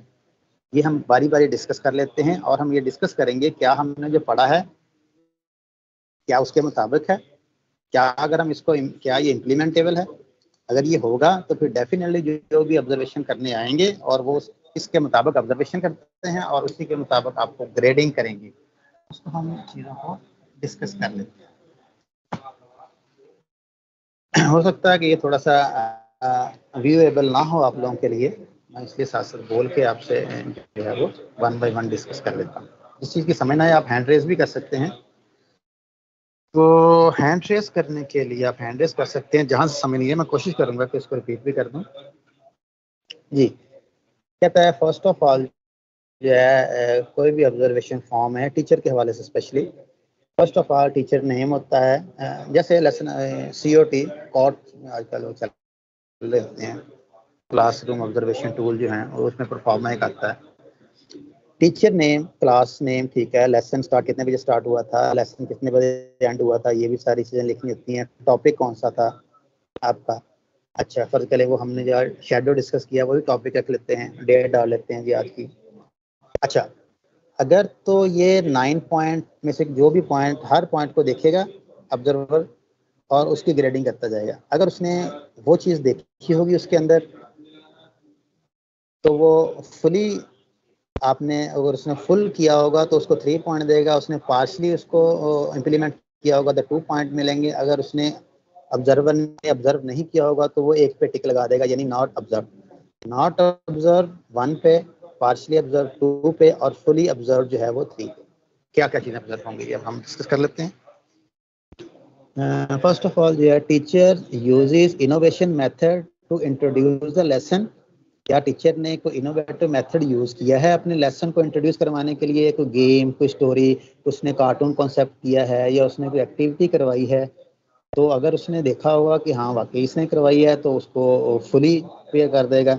अगर आप समझे कि हमने आज डिस्कस किया था कार्टून कॉन्सेप्ट तो आपने अगर वो इनोवेटिव एक्टिविटी या कोई गेम या कोई स्टोरी स्टार्ट में ताकि बच्चों की प्री जजमेंट कर सके कि उसके पास नॉलेज कितना है। हमने आज डिस्कस की है, अगर वो हम लगाएँगे, कोई भी हो सकती है वो तो वो ऑब्ज़र्व हो जाएगी हाँ जी, इसने पहला यूज़ किया था, पहला स्टेप इसने पूरा किया, इसको थ्री पॉइंट ओके हो गया। नंबर दो। The teacher uses active method in the lesson आज हमने एक्टिव टीचिंग और पैसिव टीचिंग भी पढ़ी थी। अगर वो एक्टिव टीचिंग क्या उसने की है? कैसे? क्या उसने कोई जो है ग्रुप वर्क करवाया है? कोई डिस्कशन की है? इंक्वायरी बेस्ड मेथड यूज़ किया है? कोई डिस्कशन बेस्ड चीज़ें की हैं? क्या ये उसने एक्टिव मेथड यूज़ किया है? अगर आपने एक्टिव मेथड यूज़ किया होगा तो थ्री पॉइंट अगर आपने कुछ ऐसे गुजारे के लिए कर दिया होगा तो टू अगर आपने नहीं किया होगा तो वन आपको पॉइंट मिलेगा। जिस टॉपिक पे आपको जिस पॉइंट पे एतराज़ हो, वो आप डिस्कस भी कर सकते हैं। जी वो हमने डिस्कस कर लिया है। अब थ्री जो है the teacher involve all student in the classroom activity क्या बच्चे, क्या टीचर ने पूरी क्लास को इन्वॉल्व किया एक्टिविटी में? नो हैंड क्वेश्चनिंग के ज़रिए। कभी किसी से पूछ लिया, कभी किसी से पूछ लिया, कभी किसी से पूछ लिया, कभी यानी स्पेसिफाई नहीं उसने किया, अगर बच्चे हैं या बच्चियाँ हैं, बच्चों को अलहदा उसने ट्रीट किया है बच्चियों को अलहदा ट्रीट किया है, या एक स्पेसिफिक क्वेश्चन के ज़रिए ही, या उसने एक दो बच्चों को ही टारगेट किया है, ये चीज़ें ऑब्ज़र्व होंगी। ये आज हमने पढ़ा भी था, आप लोगों को इसकी अंडरस्टैंडिंग भी हो गई थी कि नो हैंड क्वेश्चनिंग के ज़रिए, या वो जैसे था हॉट सीट वाला, वो आपने यूज़ किया तो वो फुली ऑब्ज़र्व होगा। अगर आपने ऐसे ही जान छुड़वाने के लिए किया होगा तो पार्शली अगर आपने उसने आपने नहीं किया होगा तो आपको उसका एक पॉइंट मिलेगा। अच्छा जी, इसमें है पॉइंट फोर है। Teacher ask question to promote the discussion क्या उसने डिस्कशन को प्रमोट करने के लिए कोई क्वेश्चन किया है बच्चों को? जो उसने टॉपिक पढ़ाया था, उसको आगे, जैसे अभी हमने इंक्वायरी बेस और डिस्कशन बेस पढ़े उसमें मैंने आपको सारी डिटेल से बताई हैं चीज़ें। तो क्या टीचर ने क्वेश्चन किया है बच्चों से कि उनकी डिस्कशन जो है वो ज़ाहिर है? जैसे हमने वो शेडो वाला पढ़ा था, पहले कहा जी हाँ जी शेडो क्या होता है जी, आप बताएँ। फिर बच्चों से पूछा, जी शेडो कितने बजे ज़्यादा होता है? फिर टैंडमली क्वेश्चन किए। क्या ये सारी चीज़ें उसने टूल यूज़ किए हैं? इन सब बच्चों को इन्वॉल्व किया है? किया होगा तो थ्री पॉइंट एंड कम किया होगा तो टू पॉइंट एंड नहीं उसने ऑब्ज़र्व किया होगा तो वन पे हो जाएगा। ये डिफरेंट भी हो सकते हैं वो point one two three in one पे फुली ऑब्ज़र्व भी हो सकता है वो क्राइटेरिया जैसा भी अच्छा जी। The teacher ask question to promote discussion क्या डिस्कशन को प्रमोट करने के लिए उसने क्वेश्चन किए हैं? वाई ऐसा क्यों है? हाउ कैसे है? या कोई भी क्वेश्चन उसने किए। उसके बाद नंबर फाइव पॉइंट पे है the teacher encourages interaction among the children in the classroom क्या टीचर ने इंटरेक्शन बच्चों में करवाई है? इंटरेक्शन मतलब उसने क्लासरूम के अंदर बच्चों से कितना इंटरेक्ट किया है? कितनी उनसे क्वेश्चनिंग की है? क्या उसने ग्रुप वर्क में पेयर पेयर वर्क में पेयर शेयर वो जो था थिंक पेयर शेयर या पेयर फीडबैक या कोई भी इस तरह का टूल्स ने यूज़ किया है बच्चों में? किया होगा आपने तो थ्री पॉइंट है, कम किया होगा तो टू पॉइंट है, अगर नहीं किया होगा तो वन पॉइंट अच्छा जी। उसके बाद सिक्स नंबर पे है the teacher provide assistant to all the children क्या टीचर ने तमाम बच्चों को असिस्ट किया है या सिर्फ़ एक दो पे ही फोकस रखा है? या उसने सबके आइडियाज़ सुने हैं, उनके क्वेश्चन किए हैं, या बच्चों ने उनसे क्वेश्चन पूछे हैं? ठीक है, क्या उन्होंने, उसने कहा है बच्चों को कि हाँ जी क्वेश्चन करें, आप करें क्वेश्चन आप करें क्वेश्चन प्रोबिंग की है? या नहीं की है, ये सारी चीज़ें भी आपकी ऑब्ज़र्व होंगी। अगर तो आपने ये ये चीज़ें यूज़ की होंगी तो आपको हो जाएगा। फुली नहीं की होंगी, अगर कम की होंगी तो पार्शली नहीं की होंगी तो नॉट ऑब्ज़र्व अच्छा जी, उसके बाद आता है सेवन पॉइंट है the scientific concept discussion in the classroom are accurate क्या उसने जो साइंटिफिक कॉन्सेप्ट था, जैसे हमने किया था उसमें डिस्कशन में और दूसरे इंक्वायरी बेस थी। क्या उसका जो साइंटिफिक प्रोसेस था, वो एक्यूरेट था या एम ही अपनी तरफ़ में कोई? पंजाबी में कहते ना, ये बड़ा क्या वो अपनी तरफ़ से कुछ चीज़ें बनाई हुई थी? क्या या बाकी उसका कोई साइंटिफिक वे था? उसकी जो क्वेश्चनिंग है, उसकी जो क्वेश्चन हैं, उसमें नेक्स्ट टू नेक्स्ट कनेक्टिविटी आई जा रही, आई जा रही है और वो सारा प्रोसेस सेंटर्ड जो है वो लर्निंग करवा रहा है। तो अगर आप प्रोसेस सेंटर लर्निंग करवाएँगे आपके क्वेश्चन में जो है वो रबत होगा क्वेश्चन में आपके इंट्रैक्शन होगा तो आपको फुली ऑब्ज़र्व हो जाएगा। अगर आपने कम यूज़ किया होगा तो पार्शली ऑब्ज़र्व होगा। अगर आपने उस चीज़ को यूज़ नहीं किया होगा तो नॉट ऑब्ज़र्व उसके बाद है एट पॉइंट है the content is relevant to the childrens age level most important thing कि जो उसने लेसन प्लान किया है, जो उसके कंटेंट्स हैं, उस जो भी टॉपिक है, क्या उसने उसको बच्चों की एज के मुताबिक उसने एक्टिविटी करवाई हैं? बच्चों की एज के मुताबिक उसने वो साइंटिफिक प्रोसेस करवाया है? या बच्चे तो बेचारे हैं थ्री क्लास के या फोर क्लास के हैं तो हम उसको एग्ज़ाम्पल दे रहे हैं न्यूटन की, या is equal to M C square बता रहे हैं, या कोई हैवी कॉन्सेप्ट दे रहे हैं जो बच्चों की समझ से बाहर है? या वो रेलिवेंट चीज़ें जो है बच्चों की एज के मुताबिक छोटे छोटे छोटे छोटे क्वेश्चन कर रहा है। Do not discuss irregular characteristic of water in class four यानी फोर में उसके ये वाली चीज़ें आप, यानी उससे टॉपिक से रिलेटेड नहीं है, वो डिस्कस कर रहा है। अगर तो आप इसको यूज़ कर रहे होंगे तो आप खुली हो जाएगा। अगर आप इसको यूज़ नहीं कर रहे होंगे तो कम कर रहे होंगे तो पार्शली अगर आप, उसने जो आपका ऑब्जर्वर होगा, उसने ऑब्ज़र्व नहीं किया होगा तो नॉट ऑब्ज़र्व अच्छा जी नाइन पॉइंट है। The teacher uses variety of materials during the lesson क्या वो लेक्चर मेथड था उसका? या एक्टिव लर्निंग एक्टिव टीचिंग थी और एक्टिव लर्निंग थी जो हमने आपको करवाई थी?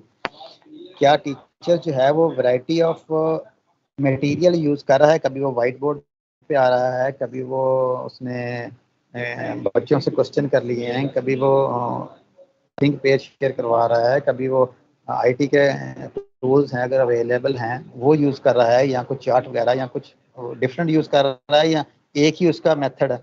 या वो ब्लैक बोर्ड पे आ रहा है पिक्चर शो करवा रहा है, कभी मॉडल दिखा रहा है या लो कॉस्ट मटेरियल जो है वो शो कर रहा है।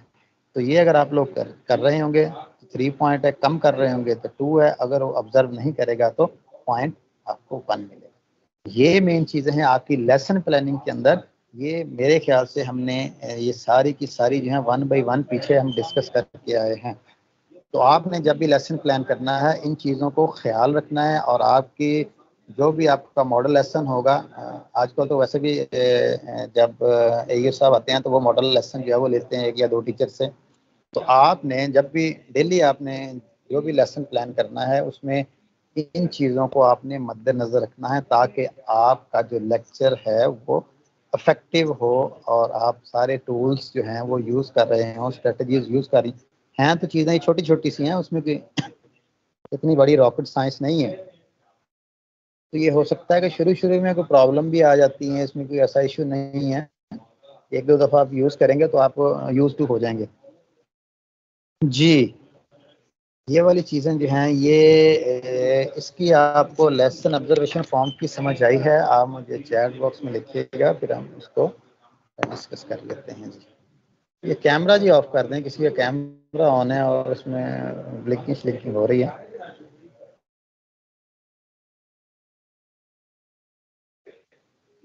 जी चैट बॉक्स में लिखिएगा, आपको ये जो नाइन पॉइंट हैं, जो आपकी लेसन प्लानिंग में आपके काम आने हैं, जो आपका ऑब्जर्वेशन फॉर्म है, उसमें आपको समझ आ रही है। अगर किसी पॉइंट की समय नहीं आई तो आप हैंड रेज कर सकते हैं।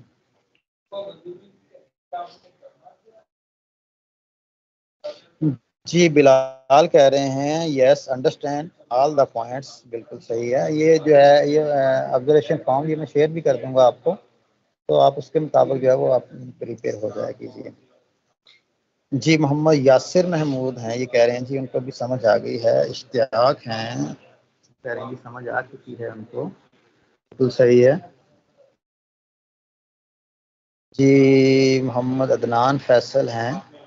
क्लियर हो गए हैं जी इनको। जी थैंक यू वेरी मच जी यू आर ऑल जो है वो वेरी देखें नॉलेज आपके पास बहुत ज़्यादा है, इसमें कोई डाउट वाली बात ही नहीं है। आप इतने प्रोसेस से होके आए हैं एन टी एस दिया है, उसके बाद सिक्योरिटी नहीं हुई है M S C M Phil P H D knowledge से भरे पड़े हैं।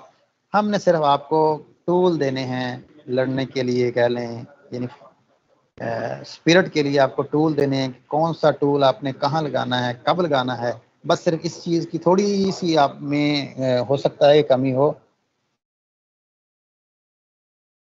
तो वो चीज़ें हम आपको सिखा रहे हैं। बाकी किसी चीज़ में कोई कमी नहीं है आपने। नॉलेज की कोई कमी नहीं है। हमसे ज़्यादा नॉलेज है सबके पास। सारा कुछ है। बस सिर्फ़ किस चीज़ को कब यूज़ करना है, ये सिर्फ़ हमने आपको बताया है इन तीन दिनों में। और एग्जाम्पल्स प्रैक्टिकली एग्ज़ाम्पल के साथ एसएनसी और टेक्स्ट बुक जो है उसकी कनेक्टिविटी के साथ हमने आपको चीज़ें जो हैं वो समझा दी हैं।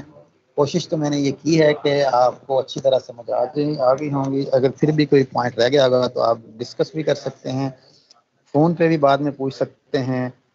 पर्पज़ यही है कि आपको अच्छी तरह चीज़ों की समझ आ जाए और जब भी आपके ऑब्ज़र्वर आए, ये फॉर्म जो है उनके पास होता है।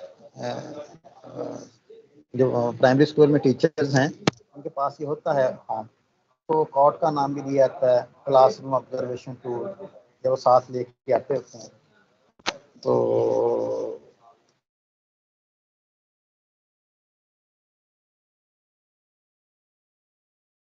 जी, कुछ हाँ स्कूल्स में ये प्रैक्टिस हो रही है, काफ़ी देर से है जो ये सब आना वो ऑब्जर्वेशन करते हैं टीचर्स की कोई डाउट नहीं है।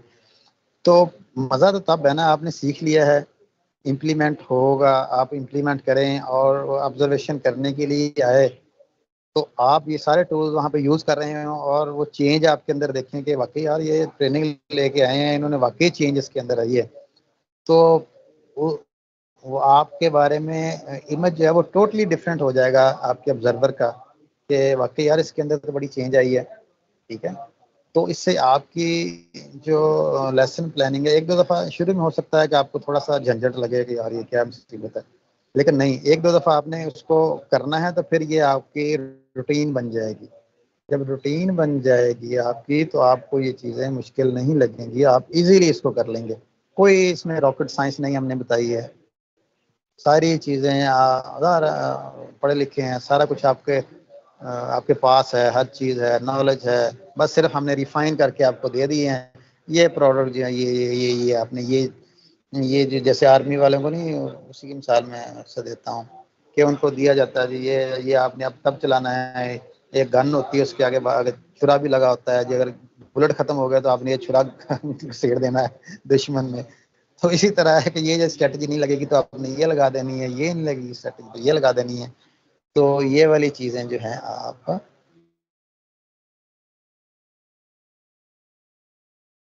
कर सकते हैं इसमें। इजीली कर लेंगे, कोई इतनी बड़ी बात नहीं है। स्टार्ट में हो सकता है कि एक दो लेसन प्लानिंग आपको मसला है। तो मज़ा तो तब है कि आप इसको इम्प्लीमेंट करें।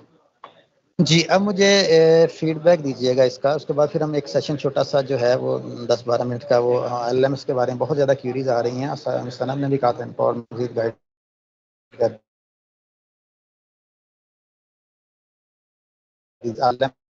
होंगे, वो हम डिस्कस कर लेंगे। अभी मुझे फीडबैक दीजिए, आपको सेशन कैसा लगा। क्या आपको समझ आई है क्या आपका फीडबैक है जो वैसे फीडबैक देना चाह रहे हैं वो हैंड रेज करें।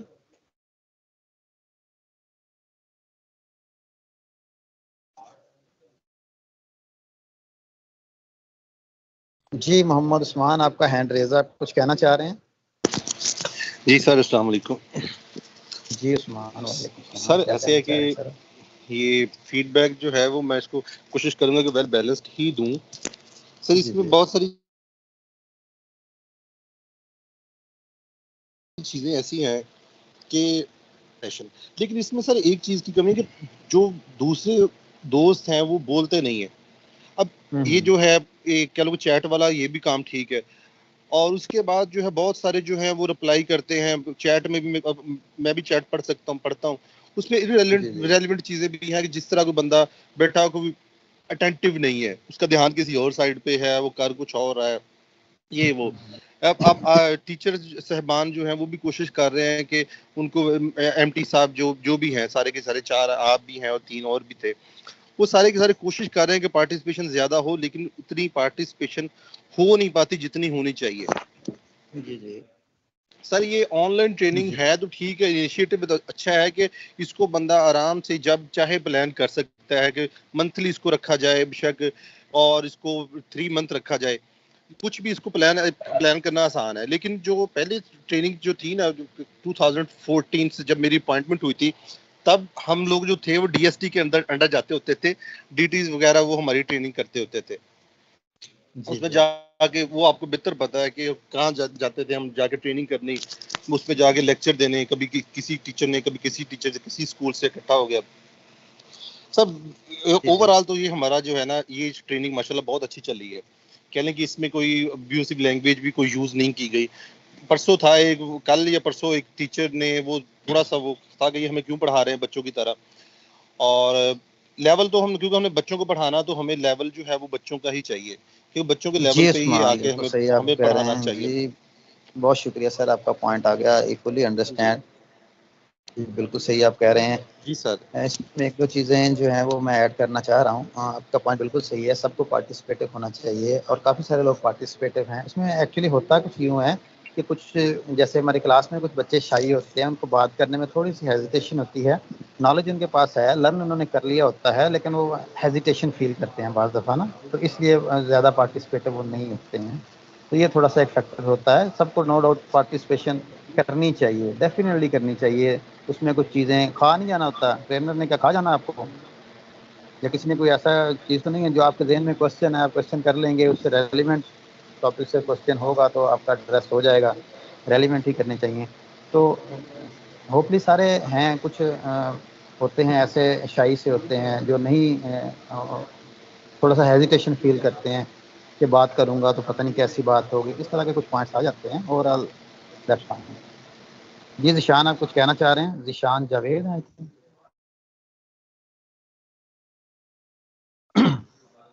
मोहम्मद जिशान है जी। सर आवाज़ आ रही है आपको मैं जी जी आपकी आवाज़ आ रही है जी बुरे तड़ाले से आ रही है। अशर भाई पता क्या मसला था? मैं आपके बैच का ही हूँ 2015 में हमने ट्रेनिंग दी थी आप हमारे सीआर थे। तो मेरे ना भांजा बीमार रहा था सी एम एच पिंडी में उनको बोन मैरो ट्रांसप्लांट के लिए भेजा था तो इसलिए मैं ट्रेनिंग सेशन सही तरह ना ले नहीं सका। मुझे पता भी चला कलीग ने बताया कि आपको मिस कॉल कर रही हैं लेकिन आप रिस्पॉन्ड नहीं कर रहे तो उस बच्चे की हो गई थी डेथ तो मैं इसी दौरान उधर फिर भांजा था तो करना पड़ा सारा। फिर आज मैं फ्री हुआ तो आप जी शान इन चीज़ों को हम ना बाद में डिस्कस कर लेंगे। आप प्राइवेट मुझे चैट में डिस्कस कर सकते हैं इस तरह की बातें। नहीं सर वो मैं अपनी बात बात की तरफ़ ही आ रहा हूँ मैं कि सेशन आपका वाकई बहुत अच्छा था फीडबैक जो मैं दे रहा था। कि बहुत अच्छा था, जो मैंने आर्ट लिया है तो उसके मुताबिक मैंने जो सीखा है ना। बाकी रही बात जो भाई ने कहा कि सारे एक्टिव नहीं कर पार्टिसिपेट नहीं कर रहे तो पार्टिसिपेट टाइम लिमिट भी होती है, आपने लेक्चर भी देना होता है, ये हमें लेसन सेशन पूरा करना होता है। अगर हम सारे लोग टीचर्स हैं, शाही की बात नहीं है टीचर्स हम देते हैं, अपनी क्लास में लेसन देते हैं, सबके सामने कॉन्फिडेंस में है।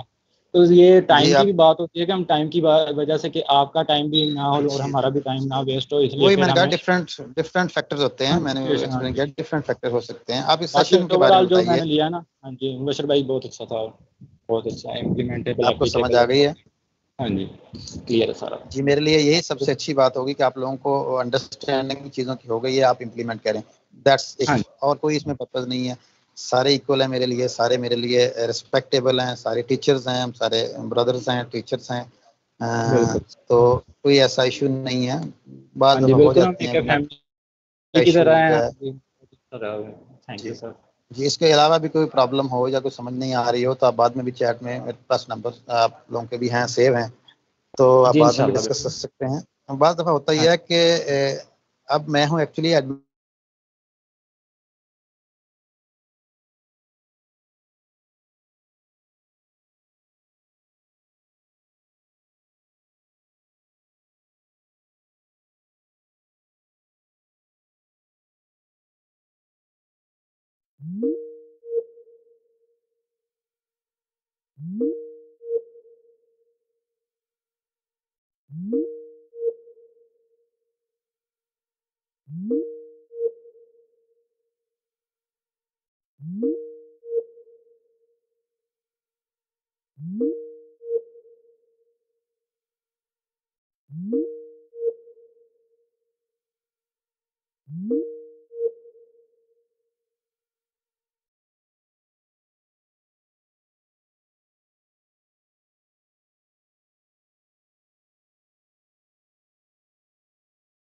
कुछ कहना चाह रहे हैं मोहम्मद नवीद?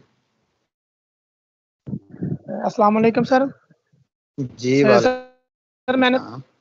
सर मैंने पूछना था कि ये सर्टिफिकेट जो ट्रेनिंग का है ये कब तक जनरेट हो जाएगा और जिनकी परसेंटेज लो आ रही है?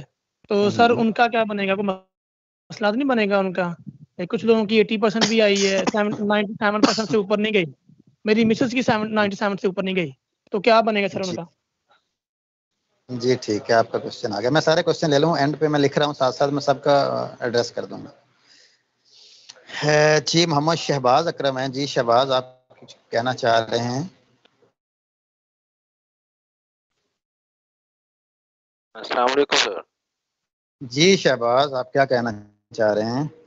सर ये मैंने पूछना था कि ये जो स्लाइडें हैं आज आपने सेशन में पढ़ाई हैं या पिछले दिनों में सारी जो स्लाइड्स चल रही थी ये ये हम हम्म। कहीं से डाउनलोड कर सकते हैं। और दूसरी बात हम्म। जी। जी आप दूसरी बात करें। सर दूसरी बात ये है कि ये जो इस इसमें अटेंडेंस कैसे हम चेक चेक कर सकते हैं खुद की? जी ठीक है। आप लोगों को अगर कहीं से मिलती हैं तो आप कर सकते हैं लेकिन हम भी शेयर कर देंगे लेकिन अभी हमारे सेशन चल रहे हैं उसके बाद हो सकता है कि हमें अभी अलाउ नहीं है। जब हो जाएँगे फिर हम उसको शेयर कर देंगे।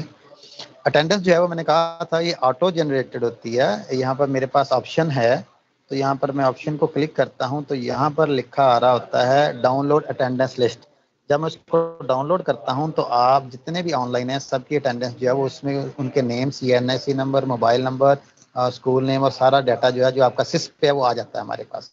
उसमें वरी होने की ज़रूरत नहीं है। जिन्होंने अटेंड किया सेशन उनकी अटेंडेंस हो चुकी होती है।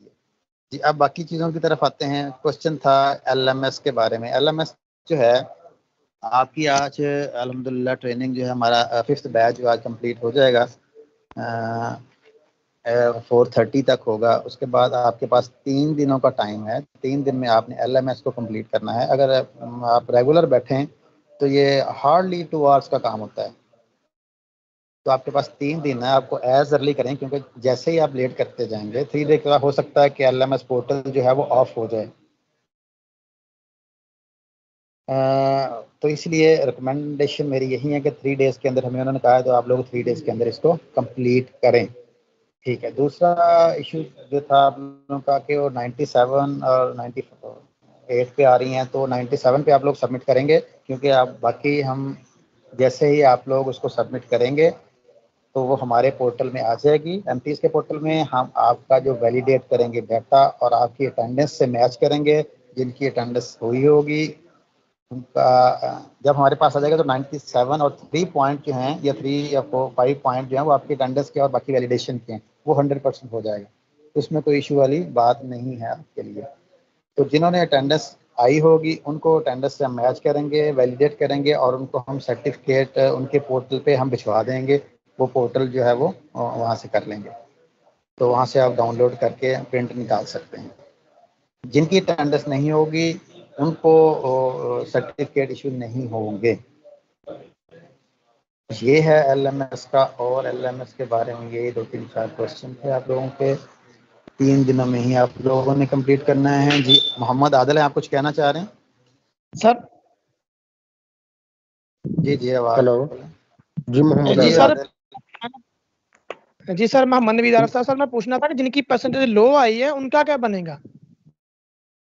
उनका कुछ नहीं बनेगा उनका टेंशन है। लो क्यों आई है? आप लोगों ने सारी एक्टिविटीज़ नहीं की हैं। अभी तो आप लोगों ने करनी है कंप्लीट तो अभी तो आपका ये सेशन कंप्लीट नहीं हो तो आप लोगों ने पहले कैसे इसको कर लिया?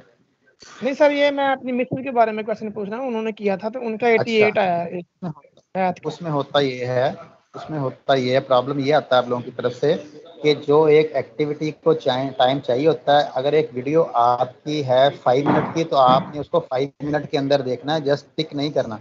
पूरी फाइव मिनट की देखेंगे पूरा आप टाइम देंगे तो फिर आपका एक्यूरेट आएगा। अगर आप उसको जल्दी जल्दी करने की कोशिश करेंगे तो फिर आपके वो कम आएँगे। सही। तो सर जी सर्टिफिकेट कितने दिनों तक जनरेट हो जाएगा? जी जैसे आप लोगों का हमारे पास आएगा उसके बाद हम उसको वैलिडेट करेंगे हो सकता है दो दिन लग जाए उसमें। तो जैसे हमारे पास आएँगे हम उसको वैलिडेट करेंगे आपका अटेंडेंस शीट मैच करेंगे उसके बाद फिर हम उसको कर देंगे। ठीक है जी उसके बाद जी मोहम्मद जुबैर हैं आप कुछ कहना चाह रहे हैं जी?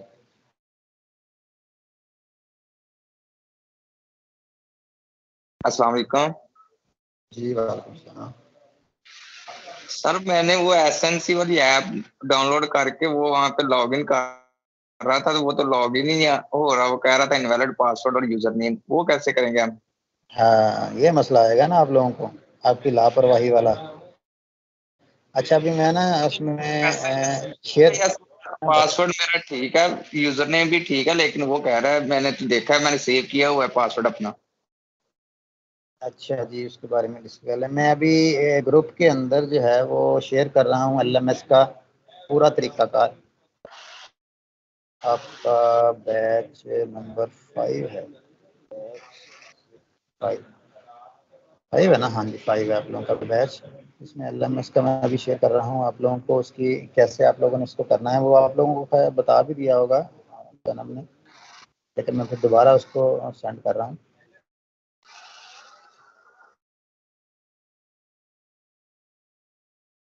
जी एल एम एस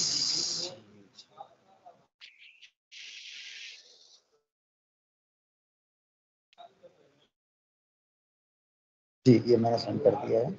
और किसी भी किस्म का हेल्पिंग मटेरियल जो है, आप लोगों ने किसी भी सूरत शेयर नहीं करना है पहले बता दूँ। आपको, मैंने इसको नोट कर लेना है और फिर ये अच्छा नहीं होगा।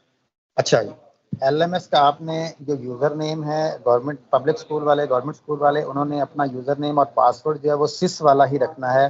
सिस पे जो यूज़र नेम था, वही यूज़र नेम होगा, वही पासवर्ड होगा आपका। वो ऐड करना है। अगर आपको उसमें डिफ़िकल्टी आ रही है तो आपने सिस पे जाके उसको अपने पासवर्ड को रीसेट कर लेना है। नया पासवर्ड ले लेना है, फिर आप दोबारा एंटर हो जाना उसको।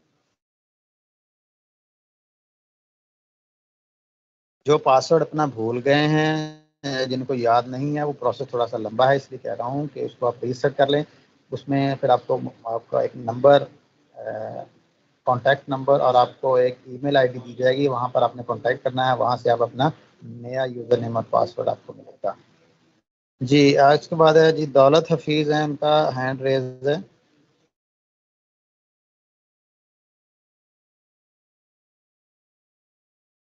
अभी एक दो मिनट है हमारे पास जी। दौलत हफीज़।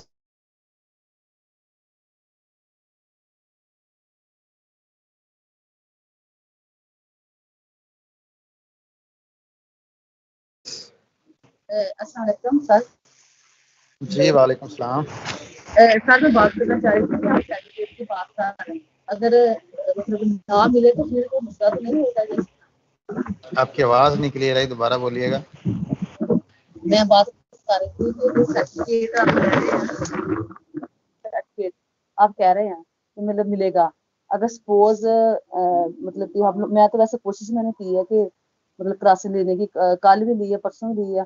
आज भी जब तबीयत खराब थी मैंने मैसेज किया कि लेकिन जो तबीयत सेट हुई तो मैंने लेनी शुरू कर दी क्लास तो अगर सपोज़ अगर ना मिले तो फिर इसका कोई इशू वगैरह तो इस तरह मिल जाएगा मुझे भी।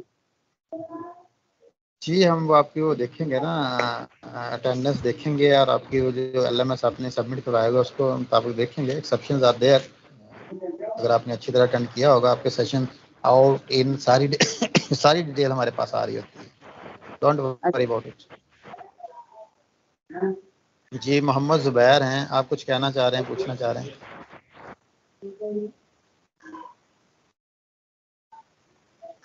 नो सर मैंने पूछ लिया एलएमएस का ही पूछना जी अपना हैंड रेज कर लें थक ही ना जावे हाथ।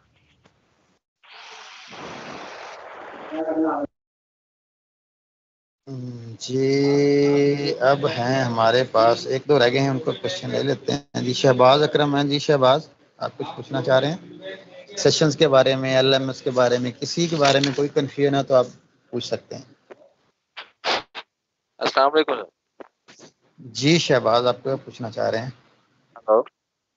सर मैंने पूछना था कि जो सर्टिफिकेट मिलता है जनरेटर इसके बाद उस पे कहते हैं कि सिर्फ़ नाम और आईडी कार्ड नंबर लिखा होता है इस पर ग्रेडिंग नहीं की जाती। इसकी रीजन क्या है? अभी तो हमने किसी का जनरेट नहीं किया है। नहीं सर वो तो- जो हमारे साथी हैं उनके आए हैं ना। जी जी। वो ग्रेडिंग आप आपको सर्टिफिकेट इशू तब होता है अगर आप रिक्वायर्ड जो नंबर हैं या रिक्वायर्ड ग्रेडिंग है आप कर लेते हैं उसको अबूर कर लेते हैं तो फिर ही आपको सर्टिफिकेट मिलता है। अगर आप वो वो रिक्वायर्ड चीज़ें नहीं करते हैं या अटेंडेंस आपकी उसके मुताबिक नहीं है तो आपको सर्टिफिकेट इशू नहीं होगा। सही है। ठीक सर। चलें जी अपने हैंड ओवर कर लें। हमारा टाइम जो है वो ऑफ़ होने वाला है। इसके अलावा कोई आप बात करना चाह रहे हैं कुछ सजेशन है, कुछ क्वेरीज हैं, आप चैट बॉक्स में भी लिख सकते हैं। फीडबैक अपना ज़रूर देते रहिएगा। ये अभी भी हैंड रेज अदनान फैसल का। जी, अदनान, आप कुछ पूछना चाह रहे हैं?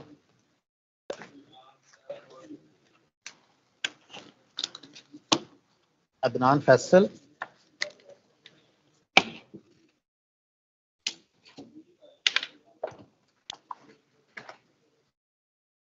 जी अदनान फैसल आप कुछ पूछना चाह रहे हैं? आपका हैंड रेज था। नहीं है तो मोहम्मद बिलाल है आप कुछ पूछना चाह रहे हैं?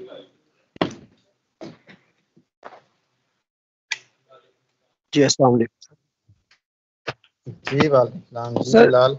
एलएमएस एलएमएस पे मतलब मुझे बिल्कुल भी नहीं इलम पे मतलब क्या इसमें होगा क्या पूछा जाएगा या क्या होना है क्या हमें करना है वो थोड़ा सा प्लीज़ गाइड एलएमएस के बारे में आपको गाइड कर दें क्या होना है क्या होना है क्या इतना डरे हुए हैं यार क्या है? क्वेश्चंस हैं उसमें जो आपने ट्रेनिंग सेशन अटेंड किए हैं अगर आपने अटेंटिवली अटेंड किए हैं तो कोई इश्यू नहीं है। यही पूछा जाएगा कि ये इंक्वायरी ये जो है ठीक। ये क्या चीज़ है ये क्या चीज़ है ये क्या चीज़ है? आपने करते जाना है उसको इंटेलिजेंट हैं आप लोग कर लेंगे उसमें कोई इतना इशू नहीं है। घबराने की कोई ज़रूरत नहीं है घबराना नहीं है आपने। कोई इतनी रॉकेट साइंस नहीं है। जो आपको पढ़ाया है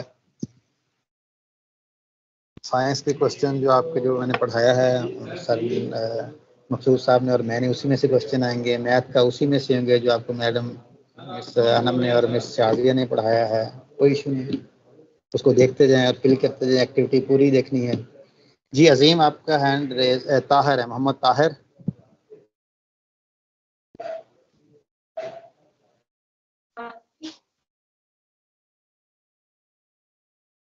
अलैक्म जी ताहिर।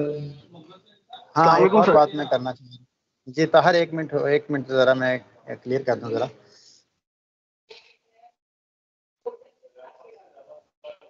जो आउटसाइड ऑर्गेनाइजेशन है मसलन जो प्राइवेट स्कूल वाले हैं उन्होंने अपना एलएमएस का जो यूज़र नेम और पासवर्ड वही रखना है जो उन्होंने रजिस्ट्रेशन के वक्त रखा था। यानी अगर यूज़र नेम उनका सी एन एस सी था वही रखेंगे और पासवर्ड वही होगा। जो जिस नेम से उन्होंने रजिस्ट्रेशन करवाई है जी ताहर आप लास्ट क्वेश्चन है। ताहर आप कुछ कहना चाह रहे हैं?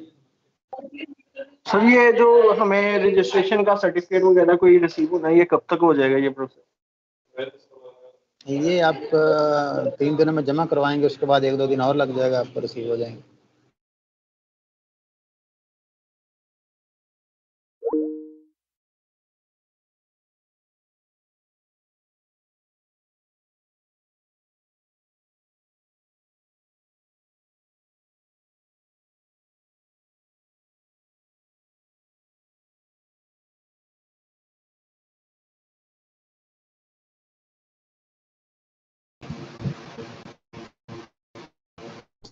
बहुत ज़्यादा पार्टिसिपेट किया आप लोगों का बहुत बहुत शुक्रिया जी।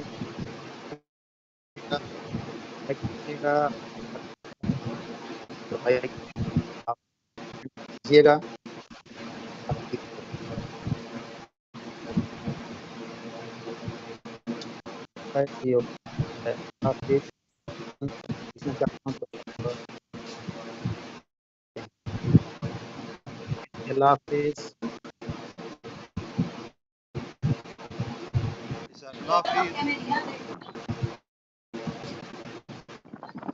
अल्लाह हाफिज़ अल्लाह अल्लाह हाफ़िज़ सर अल्लाह